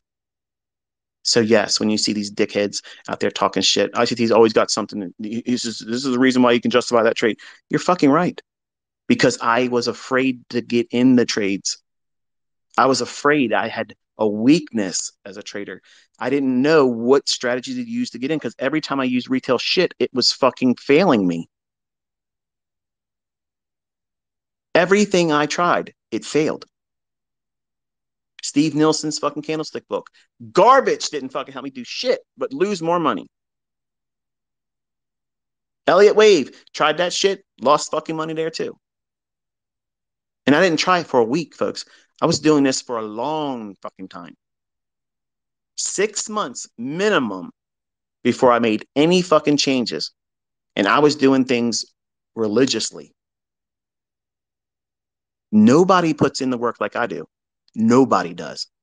Nobody puts in this type of work ethic in this. And when I was younger and I had more energy, every waking moment was this. It was this. I lived and breathed this shit. Markets and price, it's in my fucking DNA. I was made for this. This is my purpose. This is why I'm on this fucking rock. I'm talking to you. This was appointed for us to meet. You know damn well what you're learning is going to change every fucking thing before meeting me. You know it. That's why you're still listening. That's why you put up with my fucking shit all the time. Yeah, you know I'm chemically imbalanced, but you know what? Every motherfucker out there that had fucking genius behind them, there was something different about it. They were wired differently. That's what I believe I am. It is what it is. But if I didn't look at things the way I look at them, I never would have been curious. I never would have pursued it. These obsessive compulsive things that I was birthed with that were a problem for me to wrestle with when I was a child, I channeled that shit into this stuff. And when I finally understood how these markets book, I had a mission. How do I bridge that gap that you're not supposed to see? And how I can communicate in a chart the things that don't exist in books, that other traders and teachers don't know anything about. Because believe me, folks, listen, they can talk all the shit they want now that it's growing in popularity. But if anybody knew this beforehand, it would have been out there. It would have been out there. And you know damn fucking well it would have been out there. And everybody that hears these people, and it's a small little people, small number of it. Oh, ICT's renaming bullshit. Dude, you got $2.5 million in your fucking account. As soon as you give a complete rundown, a bibliography, where everything came from, what's renamed, and everything, and I guarantee you, you ain't getting it done. It's not happening. Sorry, but it just doesn't exist. BC, before this whole approach of looking at technical science, the, the, the take the name that uh, Anton Kreil mentioned in a little video, it's not technical science. It's just trading. No, no, no, no. It's absolutely fucking technical science. There is a science behind all this shit. When the daily high and low is calculated at midnight every fucking day for every fucking market, unless there's a manual intervention, that's fucking science. Okay. That's fucking science. You don't see the Goldman Sachs boys going out there and calling you where the fucking low of the day is going to be and the high of the, the day. You don't tell them, you, they, they ain't out here telling you anything in intraday. They're going to tell you that it's noise. No, it ain't. This is fucking dubstep to me. Okay. This is fucking classics. This is, this is Bach. This is Beethoven to me. It's fucking symphony. It's as beautiful. I see this shit as poetry. It's art to me. It's not fucking noise. To uninitiated, to the people outside this circle, it's fucking noise. It's a cult. Well, guess fucking what? I'm a proud card carrying member of the fucking cult of winning, motherfuckers. If you got a problem with that, kiss my ass. I don't give a shit what none of you fucking think outside our circle. I don't give a fuck. And you think anybody that's doing well here gives a flying fuck what you think? they don't give a shit. You ain't convincing them of anything. They're already in it. They've already tasted it. They've already seen it. They've already been convinced of it and they keep getting new doses every fucking day. And that should encourage you because I'm telling you something. I fucking wish I had this. I wish I had this fucking community. I wish I was a member of a community like this. I wish there was a fucking ICT that I could have went to and learned this shit from. I wish I had what you have right now. I fucking wish it. I wasted so much fucking time and energy and money chasing bullshit that promised market wizardry. And it was bullshit.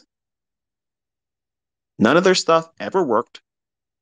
They couldn't prove that they could use it. You never seen anybody out there fucking doing what I'm doing. If I say I'm precise and I'm telling you to the tick, I better damn well fucking be able to do that, right? Well, guess fucking what? It keeps happening over and over and over again. That should be encouraging because you're in good hands. You're in good hands. You got somebody that gives a fuck how you're going to do with this. That's not charging you anything. There's no fucking coupon codes. There's no fucking Black Friday specials with me. Every fucking day is a Black Friday special. It's fucking free. Free. And I just want you to appreciate it. Because I could have been just like I was as a 20 year old capricious, not really knowing what the fuck I was going to do from one day to the next. And I could have went back on my word. If I was given this, I would spend the rest of my life teaching other people how to do it. If I was that same 20 year old boy you thought he was a man, I would have said, no, it's just for me. But it wasn't given to me just for me. It was given to me so I could do what I'm doing with it.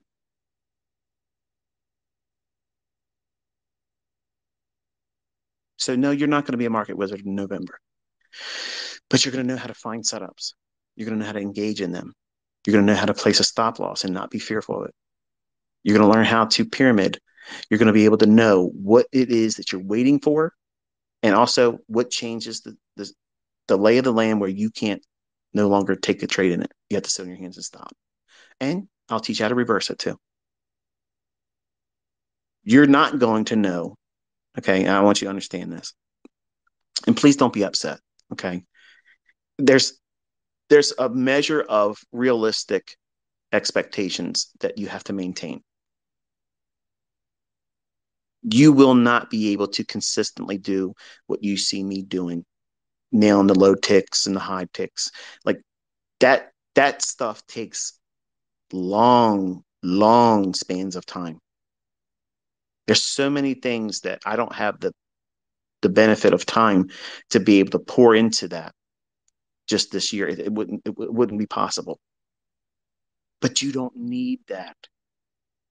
Which is the reason why you see me taking partials, getting out really, really early, because I'm trying to condition you to do what? Be content with enough. Which is why I told you what? five handles. Do, do you see me trading with more than five handles? Of course you do. But I'm showing you that that five handles is a good starting point. And if that's all you ever get good at, you're killing most of what you see in retail out there because a lot of people can't be consistent. Eh, here's the thing that drives me nuts. Okay. When I see other YouTubers and streamers out there doing this, I want them to sit down and contemplate what it is that they're doing and come up with one or two specific strategies that they know intimately. And this is what they're going to work with. And their audience will, number one, appreciate it because they'll recognize it as it's forming and they'll be probably doing the same thing that that YouTuber would be doing when it's time to take the trade on, right? by doing that, number one, it makes them a better trader. It makes them a wonderful medium to watch. And if they have a personality that's likable, and I like the people I said I like, they don't always rub everybody the same way. I, I like watching Patrick because I think he's funny. And I like the fact that he's brash about what he does. He looks and sounds a lot like I was when I was 20 years old. And I like Trades by Matt. Humble guy. He ain't trying to fucking shake up the you know the hornet's nest with anything. He doesn't claim to be better than anybody else, and he's out there trying to find himself too. The other YouTubers I'm not going to mention because I use them for the purposes of sentiment. So I don't want to build the case that someone would think of me as belittling them because I'm not. It's not even them that I'm looking at. It's their chat window and the excitement that their followers have when they think they see something in the marketplace. And no, I'm not going to tell you who that is. So don't ask me. Okay. It would be rude of me to do that. But when I'm telling you I like someone because I like them, I, am open about it. Like Hannah, Mon- Hannah Montana, listen to that. like uh, Hannah FX. I said Hannah Montana because I was talking my, son Cameron about Miley Cyrus. And he was like, you know, she's, she used to be on Disney. I'm like, I don't know. And he was telling me, yeah, she did Mon- Hannah Montana. So that, that's just where it came from. But there's a couple other YouTubers that, you know, I'm, I'm watching come up they're really, really new. And no, they're not students of mine. So it's not like, oh, you know, they're students and you you're just afraid to share it. No, I, the, it's not always people that do what I do. Like I'm not closed minded to the degree where, you know, I, I wouldn't give my time to someone else. If, if they're trading, number one, and they're doing something that's noteworthy, not being a dickhead out there trying to be a clown, I'll, I'll watch them. And if it's something I think is is useful to observe and watch how they manage themselves, I share that with all of you as my community. And you can learn from other people how they engage the marketplace when they take a losing trade, which is extremely brave. Like to do that in a live stream and then you show your face you can see and hear every mannerism. You're not looking at the back of somebody's head. You're seeing their mug, their face. You can read their eyes when they are feeling the weight of their stop getting ready to get hit. Man, that's fucking courage. Okay. I don't care what the fuck you say. That is something that, in my opinion, it commands respect because you're not hiding anything. You're out there exposing it all. Matt does that. Patrick does that. And I have a great deal of respect for that. Sitting out there, showing your cards, playing the hand that you feel is dealt to you, and then walking that in front of everybody, win or lose. And that's that's brass, man. That it takes brass to do that. Some people just can't do it. You know, I can't allow myself to be in a condition where I'm going to influence the outcome of someone else's money because I can take a losing trade. It, it, doesn't bother me. I mean, you watch me get stopped out. It wasn't losing trade, but you watch me get stopped out, and immediately, immediately checked everything. Everything's good. Okay, boom, I'm right back in. You wouldn't do that. If you followed every trade I was doing and you over leveraged on one and you know you would, I get stopped out. Okay, it's a mosquito bite to me. But for you, because you over leveraged it, because you're trying to do market wizardry, you're trying to get out of your job, pull a hat trick, and try to go into uh, early retirement on the heels of ICT streams. When I go into the next trade, which is nothing for me, You've done damage to yourself emotionally and financially. Now you are afraid of the outcome of the next trade. And you may have watched me do 98% success week after week, day after day. And then all of a sudden, now you had that one loss, which probably wasn't all that much, but because you over leveraged it, now it's monumental. You've now laced the outcome, the result of the next trade, now it's paramount that it must succeed. It has to succeed now because you're damaged goods. So I know the characteristics that we as humans usually do. We do it all the time. We act impulsively. that impulsive nature is exaggerated in someone like me because I'm imbalanced. So I know, I know if I see something in the marketplace, I got no problem running up on a, a, a trade that would be 5% risk. And the fact that I'm in that type of trade would inspire you to do what? Well, shit, if it's good for him, it's good for me. I mean, he must really trust this trade. And I might get stung. I'm not worried about coming back from 5%. 5%, I can come right back from that in 30 minutes. You don't have that. You don't have that skill. You don't have that confidence. You don't have the weapons I got. So I'm trying to be responsible because I know the influence I have and I'm trying to be a good steward with it. So what do I do? I walk you through the chart one candle at a time, showing you market wizardry, foresight, precision. It should do this. It shouldn't do that. It should do this, it should not do that. And the market just walks on a leash and delivers what we're looking for. Most times. Not every time, most times. So when you're looking at what we're doing over the course of this year in closing, I'm going to say this and we're done.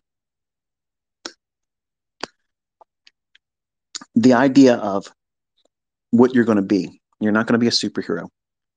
Okay. You're not going to be a juggernaut, but you're going to be a fucking savage. And that's enough. You're going to know how to find setups that yield high probability results. That's not 100% perfect. It's high probability. That means you have every advantage in your favor that it's most likely going to pan out for you exactly how it's been explained. And I could literally stand in the motherfucking courtrooms and do this in front of judges, juries, whatever the fuck you want to do. I'm doing it right now because I know it.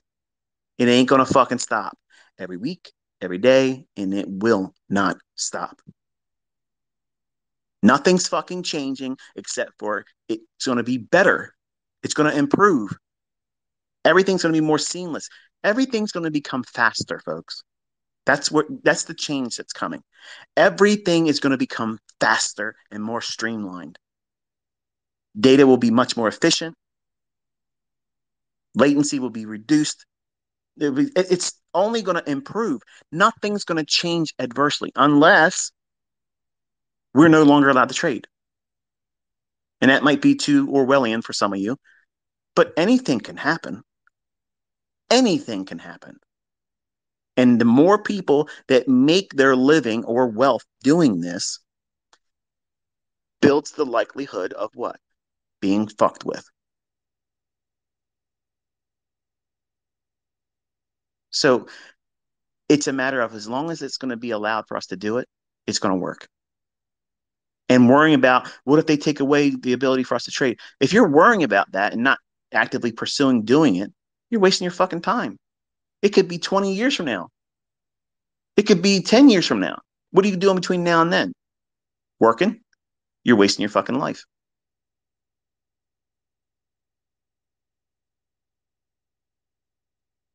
This year is a divine appointment. You found this because it was destined for you to have this. You're seeing someone that I know, I know me. Okay. I know me. I know that there ain't a motherfucker out there that's going to pour into anybody like I'm pouring into you. You're not paying me for shit. And I'm proving it every day with precision, with the theory, the logic I'm teaching you. It's repeating. If it wasn't algorithmic, listen, folks, if it wasn't absolutely fucking controlled, there's no way, no fucking way that I would know what it's going to do minute by minute. Think about that. It takes more faith to believe in fucking Santa Claus than to believe that the market is algorithmic now. I mean, it's so obvious now. It should be fucking obvious. And why it's so such a divisive thing. Like you should be thankful.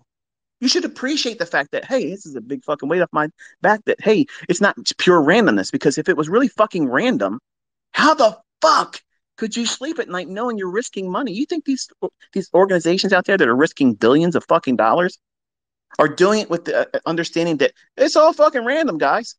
Who the fuck knows what's going to happen tomorrow? I mean, the market could, could go up anywhere. It could go down anywhere. But yet, that's the horseshit that you swallow down and think, oh, you know, they said it, so it must be true. Goldman Sachs says it's noise on these lower time frame charts. These people that go out there and they, they try to teach you the 401k approach to getting wealthy, they'll tell you nobody can time the market. We're fucking laughing at these motherfuckers. We're doing this every fucking day, every fucking session, every minute by minute. It's fucking predictable, folks. Okay. And you should literally be dancing around on a sugar fucking high because you're learning something that most people out there think that it's impossible to do. And it should be a fucking carnival experience every day with me because I'm showing you the fucking future. We're time traveling. Every fucking day we're time traveling. You're seeing the outcome of them fucking charts beforehand. That's like having tomorrow's winning lottery numbers every day. Think about that. Think about that. What the fuck? Seriously? That's what it feels like? It should be feeling like that for you because that's exactly what it felt like for me.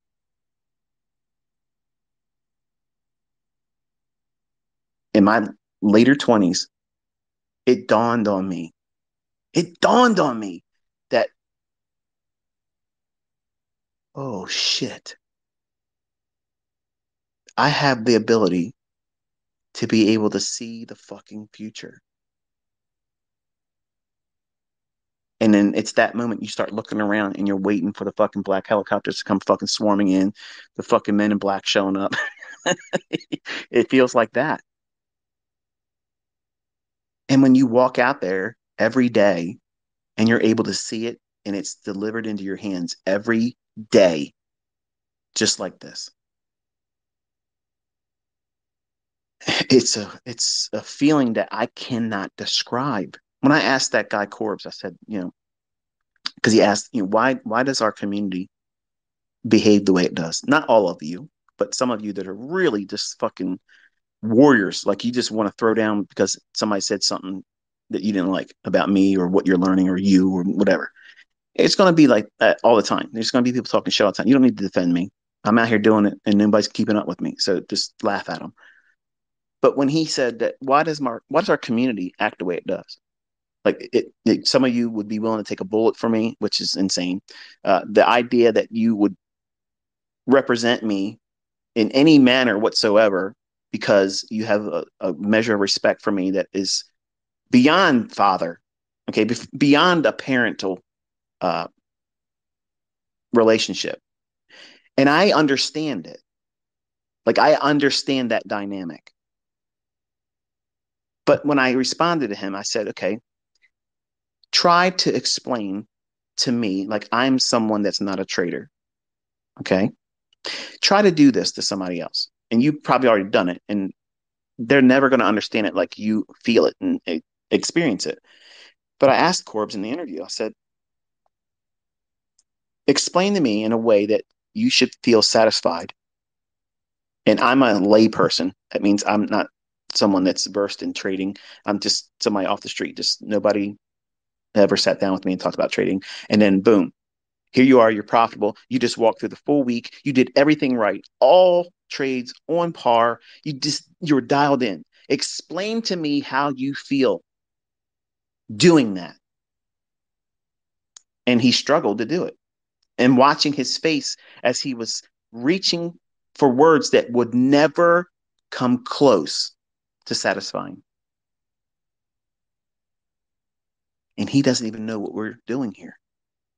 But he knows what it feels like to be on side, dialed in. You can't get any more dialed in than perfect. You can't improve on fucking perfect to the fucking tick. How can you fucking improve on that? You can't. So why the fuck are you not elated that you exactly know where you are, what the fuck you're learning, where you're going with it? Because I'm telling you, the sky is not the end. It's not the limit. This motherfucking opportunity is limitless. It's fucking limitless. You have no idea how far you're going to go. I guarantee you, you're thinking your high point is this. It ain't high enough.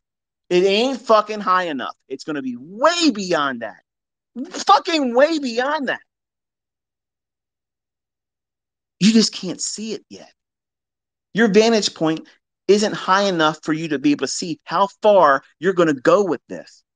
And that's why I want your story. I want to know what you've done with it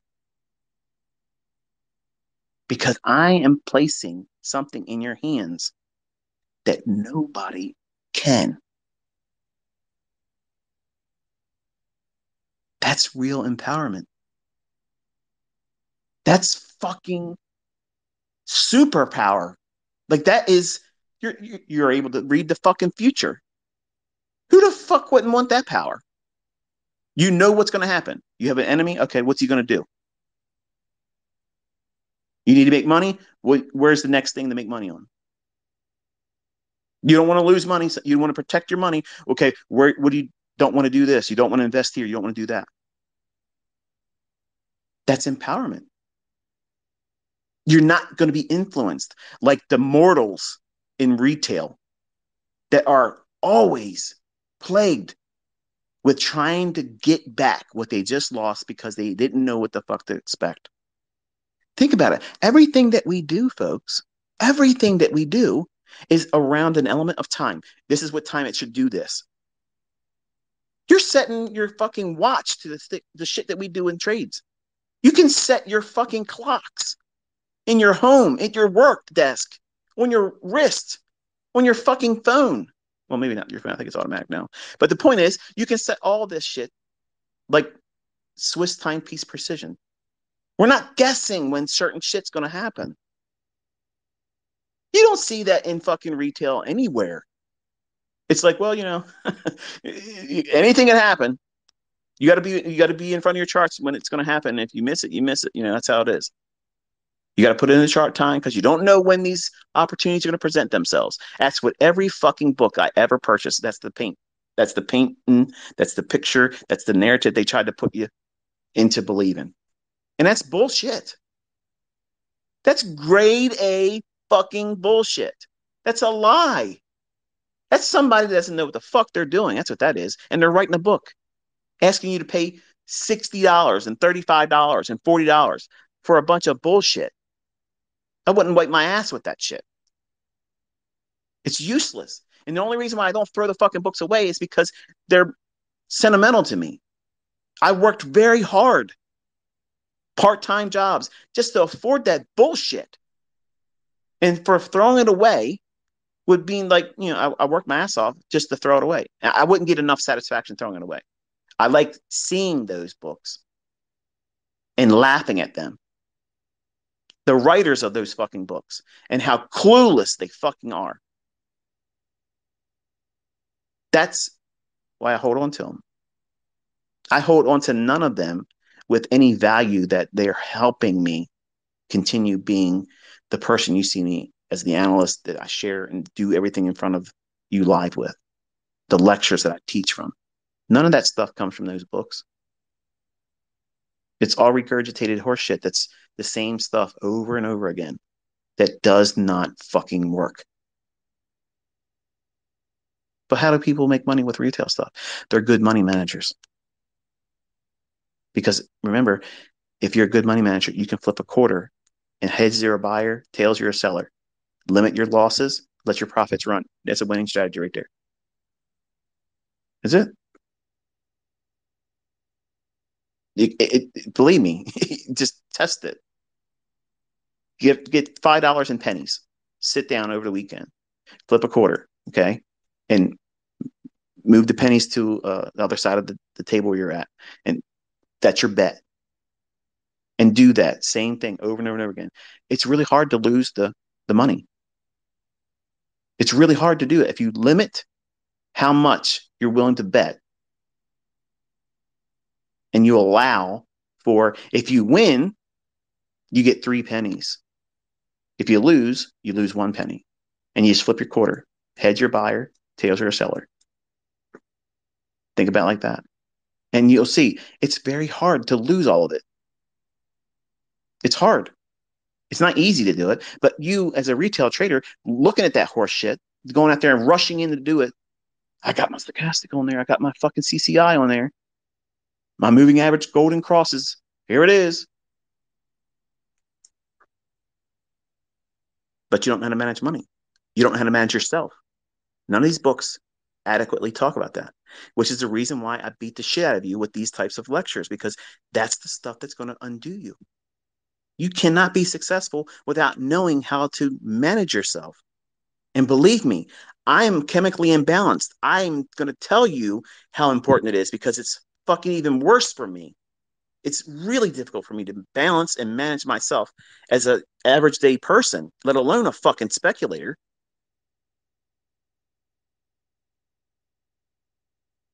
Think, think when you watch me do these live streams, that's not Ratchet ICT.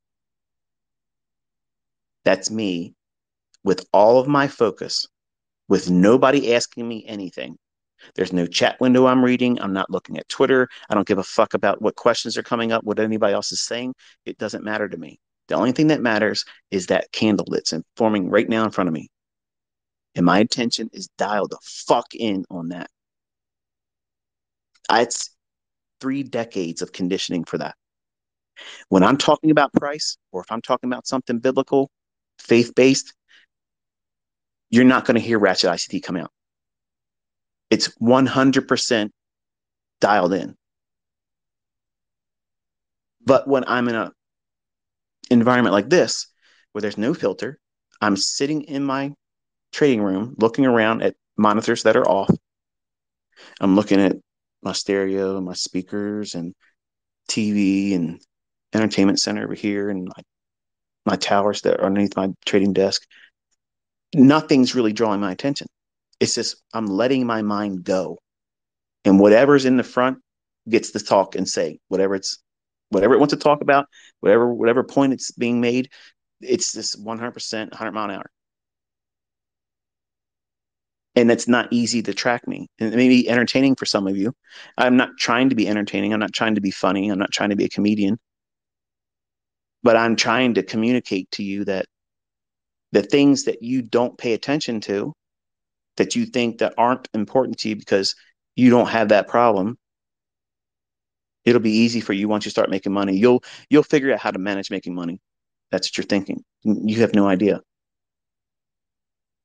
Proof of that is when you start making real money. You're gonna fucking short circuit right there. Most of you have no idea what it feels like to make good money because you've been conditioned all your life to make nothing. Give up your entire fucking day, your entire week, wear yourself the fuck out for a little bit of money, come home, be tired, no energy, no time to do anything. You got to make sure you get eight hours of fucking sleep to go do it all over again.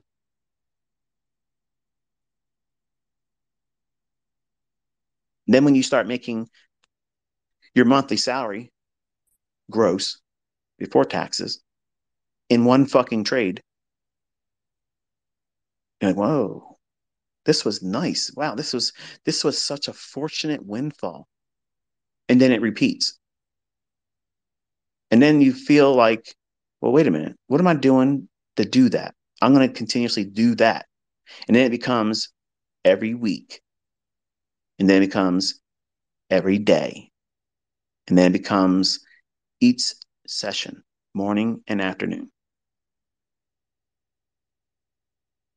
that kind of windfall continuously, it changes you. It challenges you. And it's going to show you where your flaws are. As a young man, I was continuously looking for a way to find validation because I lost my grandfather. My father didn't raise me, and my mother didn't want anything to do with me. So I've always spent my entire life seeking validation. And when I got it from my grandfather as a father figure, I lost him due to pancreatic cancer. And I watched this strong, big Navy man get consumed and went down to 90 pounds. This man was 300 pounds and not a fat ass either. He was big, big ass shoulders, big ass fucking back, big ass fucking arms. He was a man. That motherfucker was look. He looked like a fucking redwood. Like he was a tree of a man.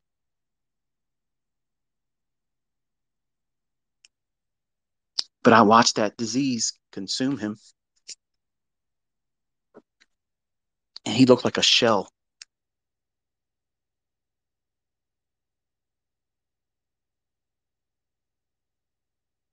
And when I lost him, I was lost because he was my strength. He was my direction in life. This was all before coming to Christ. I was literally clinging to him. He was the father figure that I needed. He was the, he was the discipline. He was the enforcer when he needed to correct my ass and put me on the right path. You're fucking off. Get your ass over and do this. Okay, done. Chores, I had them done. He never had to ask.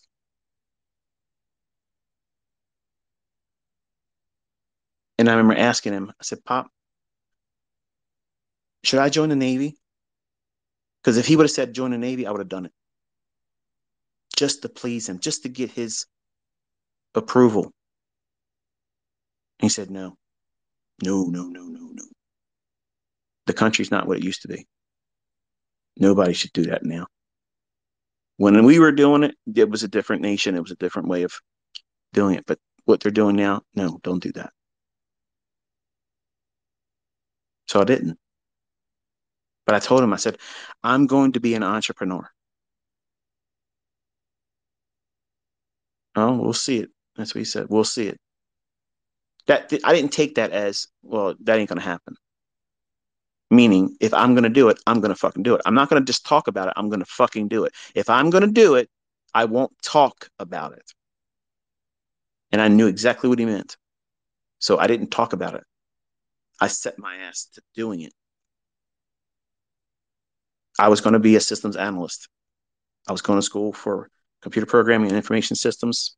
And that was my goal. I wanted to be a systems analyst. I wanted to do all of that. In my schooling, I couldn't secure a job. So I was a coder since sixth grade by choice. I was making my own games in sixth grade.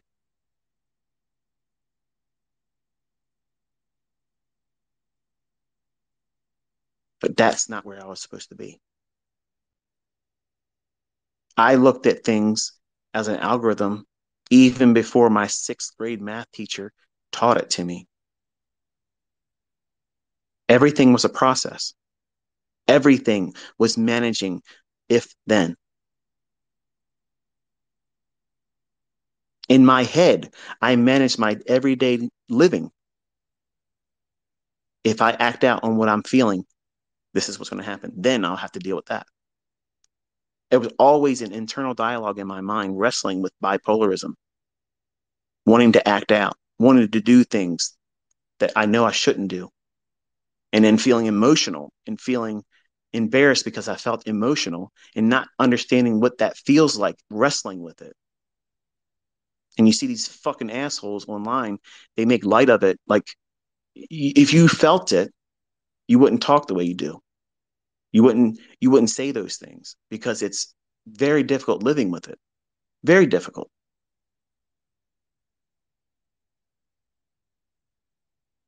But as a younger guy at 20 years old, when you start seeing money come into your hands, that your uncle that went to University of Maryland has a business degree and he's working a fucking Kentucky fried chicken just to make ends meet.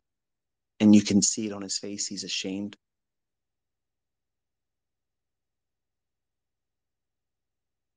And then you, his nephew, pay for his school shoes, his clothes, and his entertainment because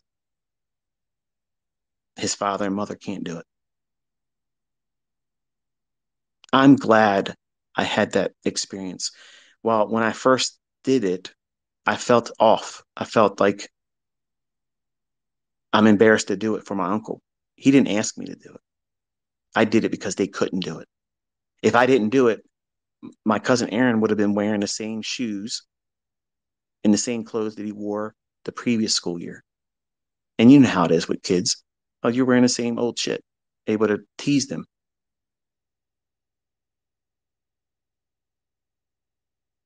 But apart from that, I was a dick. I was an arrogant motherfucker, and I threw it in everybody's face. I make more money. I pay more taxes in three months than your fucking whole family makes in a year. That's who you are listening to when I was 20. That's how I was. When you start making a lot of money, it's going to show you where your weaknesses are. So as a 20 year old, when I said those things, what I was exhibiting was all the fucking pain I was carrying inside.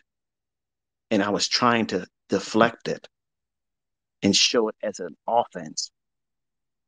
I finally am able to do this. Fuck all of you. You're nothing. You're fucking piss ants. I make more money than your whole fucking family does. I pay more taxes than your whole family fucking earns in gross salary. That's the shit that came out of my mouth as a 20 year old.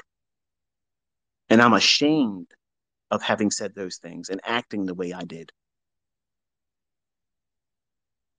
But it manifests because I needed validation. When I was saying those things, I wasn't trying to hurt anybody's feelings by doing that.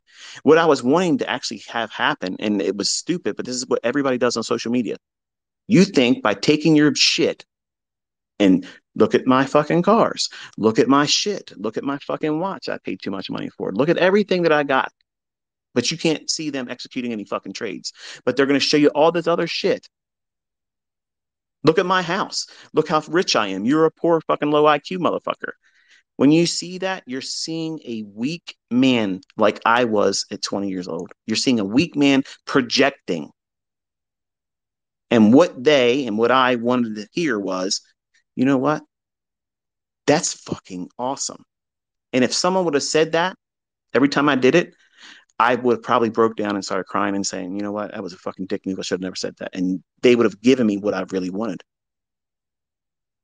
Validation. And that's what some of you are going into this with. You're looking to use these market wizardry concepts to make a lot of money, to make a name for yourself. So that way you can go out on social media and project your weaknesses, but you're going to do it in a way that you think it's an offense. You're going to really stick it to these people that really fucking made you feel insignificant. You want to crush them. You want to just make them feel stupid. They're never going to feel more stupid than they are. The fact that they even troll other people, that's the testimony that they're fucking idiots. Because if they were really making money, if they're really successful, they wouldn't be doing this shit. They wouldn't be hiding in people's fucking comment sections and on their fucking videos and making up dumb shit constantly, spending more time with someone else. A grown 50 year old man has more of their attention span than their own fucking wife and kids. Come on now. That's someone that's trying to compensate for something. And I was compensating for a lack of direction in my life when I was 20. I would have done anything to have anyone at that time because not one of my family members said I was going to be able to be successful at this. And when I started seeing success, they all turned their head and didn't want to acknowledge it. And it pissed me off. So what did I do? More of the bragging, more of the showboating, more of the buy cars, more to go on vacations, more of this, clothes, buy $400 pair of shoes. I get them muddy, throw them in the fucking trash right in front of my uncle. And he cussed me out and said, You're a stupid asshole. You have any idea how much money you just wasted there? I worked my ass off all fucking week long to make that after taxes, and you just fucking did that in front of me. I hear that in my fucking heart every time I think about that. That cut deep as fuck. I didn't throw those fucking shoes away to be a dick to him. I just figured, well, fuck it. I'll just go out and buy another pair of them. But because he saw me do something that was ridiculously stupid, I could have cleaned them. But in my mind, fuck it. I'll just buy another one. Another pair of shoes. Who gives a shit? Go to Nordstrom's. I'll buy some more shit. There it is. Done.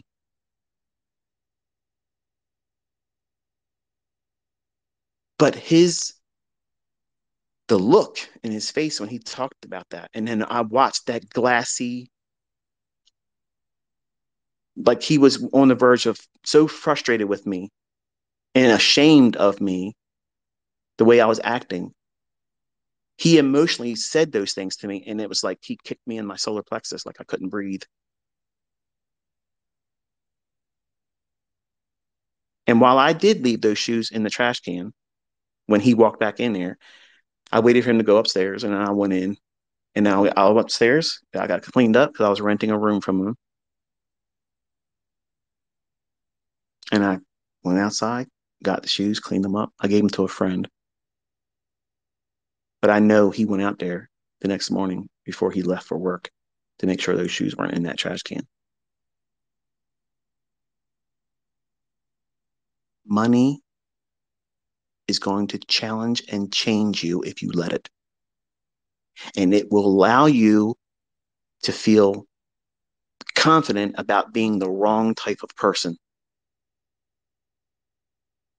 And I'm going to tell you this, and I've said it before, but I mean it. Every time when I was younger and I was trying to showboat and flash and talk down to other people, I never, I fucking never felt powerful doing it. I always felt like a piece of shit afterwards. I wished I could have went back in time and said nothing like that.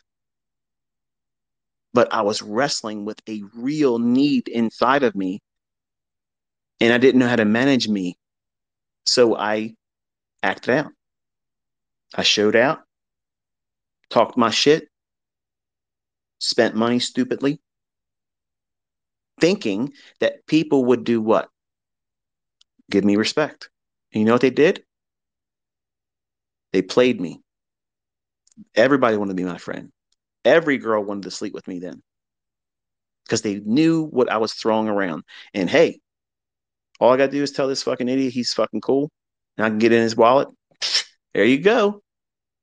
And you young men think that that's not going to happen to you. And that's exactly what the fuck's going to happen because there's a woman out there and there's a man out there that's going to play your fucking ass like a fiddle because you're too wrapped up in your weaknesses that you're trying to hide because now you got money.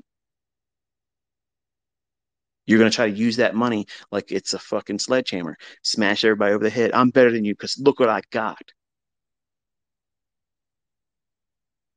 That doesn't make you better. It just means that you spent too much fucking money on the shit you got. That's all it means. Who's really fucking smart? These fucking people that are buying $300,000 fucking sports cars. That's fucking stupid. That's fucking dumb. Eight to 10 years from now, none of us is going to be allowed to have a fucking combustible engine. So who's going to be laughing then, right? So, anyway, I just want to touch base with all of you and I want to decompress and get some perspective on what you've been in, enduring, what you've been experiencing, and what you're learning, and in concert with what I mentioned this morning about maybe not knowing how far you've grown because you don't know how to measure it yet. And your best testimony of your growth is your journal, the things that you're learning, you're observing. And we're only in, really into this now a couple weeks. We haven't even done a full month yet. And I've already changed most of your perception about how price is booked by giving you two specific ranges of inefficiency where the market's going to constantly go back to and revert to it for the sake of fair value. And by understanding just that alone, sets up all kinds of setups that you were not even aware form. And it repeats every week. It's going to be this repeat, repeating phenomenon that takes place. And you also know that every morning at that New York opening gap, the difference between where we closed yesterday and the 930 opening price. What happens if there isn't a gap there? You still reference the respective opening and close price. You, you have to have those levels. Those levels are going to be useful. The likelihood of you opening exactly where we closed, can it happen? Sure.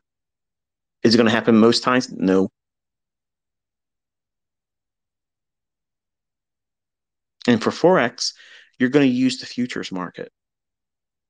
Those Canadian dollar futures contracts, those Australian dollar contracts, the Japanese yen contracts, the British pound contracts.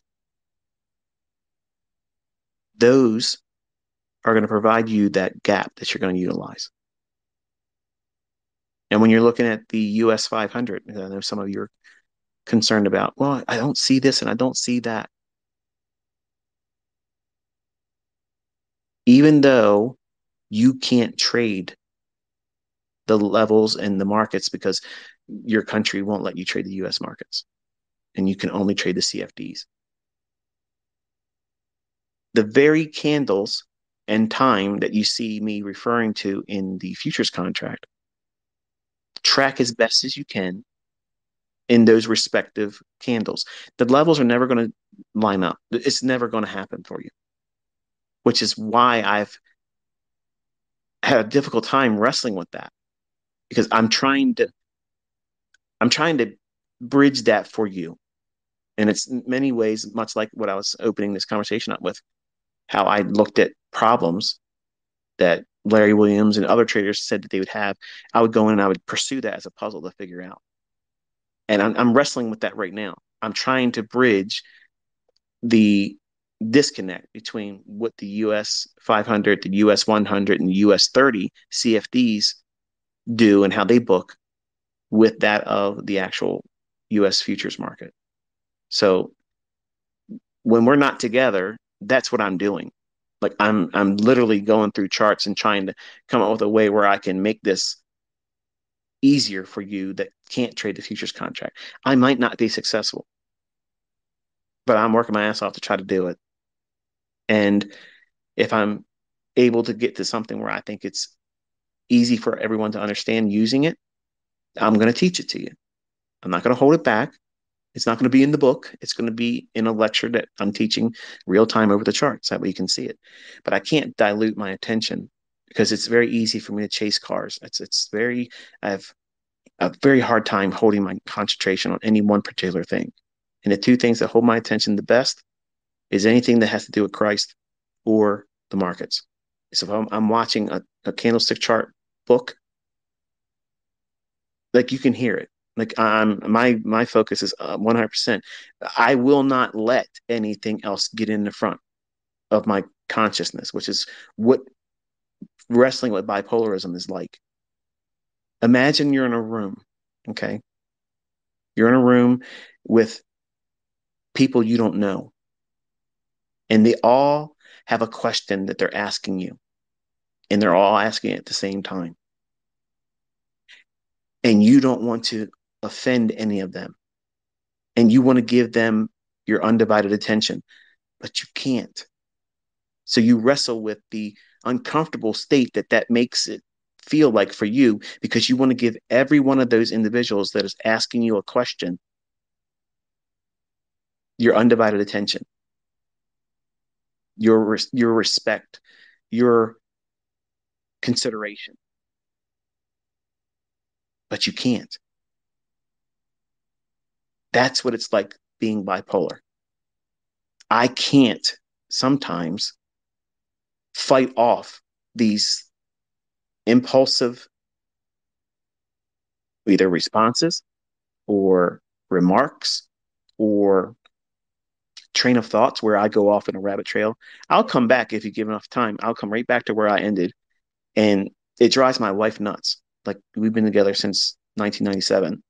And she's like, I still can't get over how you you are talking. You're having five fucking conversations.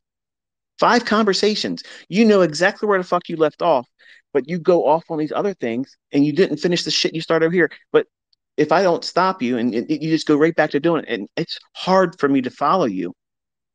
But I can see you you go back to it and you finish it because you don't want to leave anything undone. But I know how it is listening to me. And this is what I tried to hide from all of you because I'm emotional about it. I feel like it's a weakness to do that as an educator. And I understand some of you might say, well, you know, don't look at it like that. But it doesn't change the way I feel about it because I've wrestled with it all my life. So when I can talk in my best form, which has always been the recorded format, where I've filtered out all of the imbalances when I'm swinging from, you know, both sides of the spectrum. It's rare that I'm balanced for the short period of time where I can talk focused, not reach for the colorful language that invariably shows itself here. That's the that's the mentor I've always strived to be.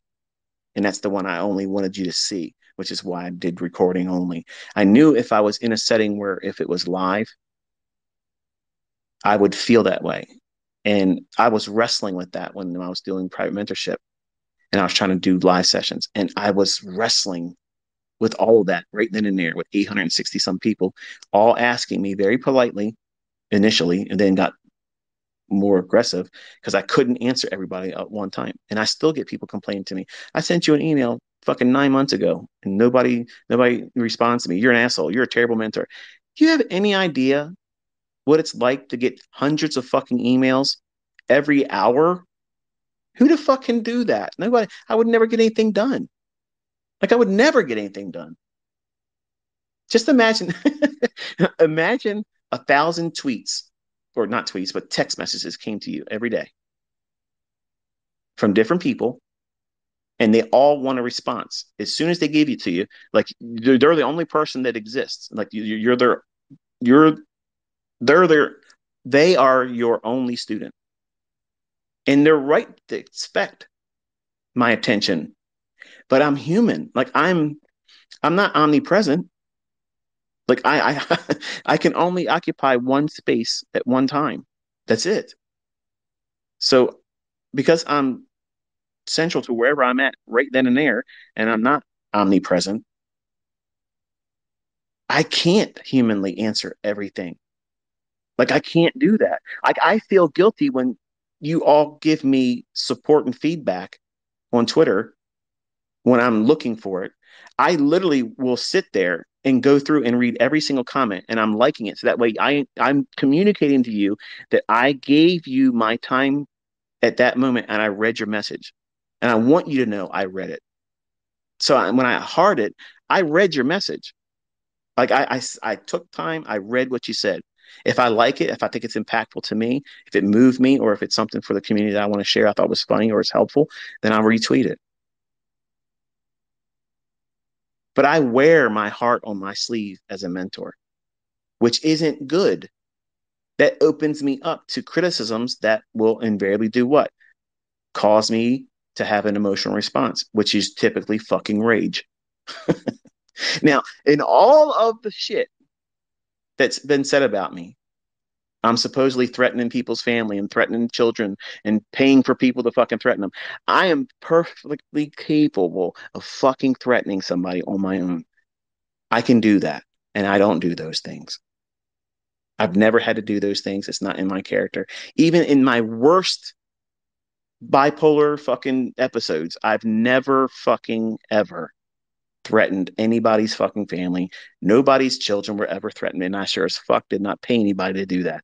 And for a man down in fucking Texas making a fucking narrative about this bullshit for fucking clout and attention, you're fucking stupid, dude. You're fucking stupid. And I hope you get in that courtroom and that motherfucker opens a fucking can of whoop ass on your fucking ass. And you're going to find out that nobody got paid by me to do any of that shit. I don't need to do that.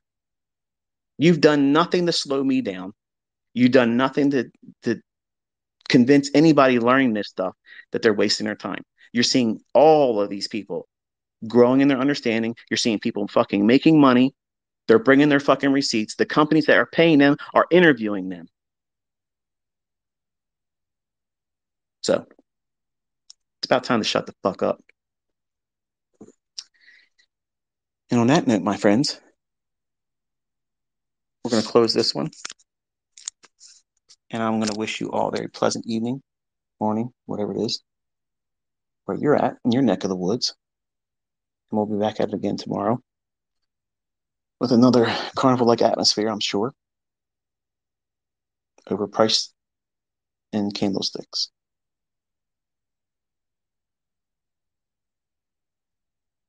I think that's about all for me.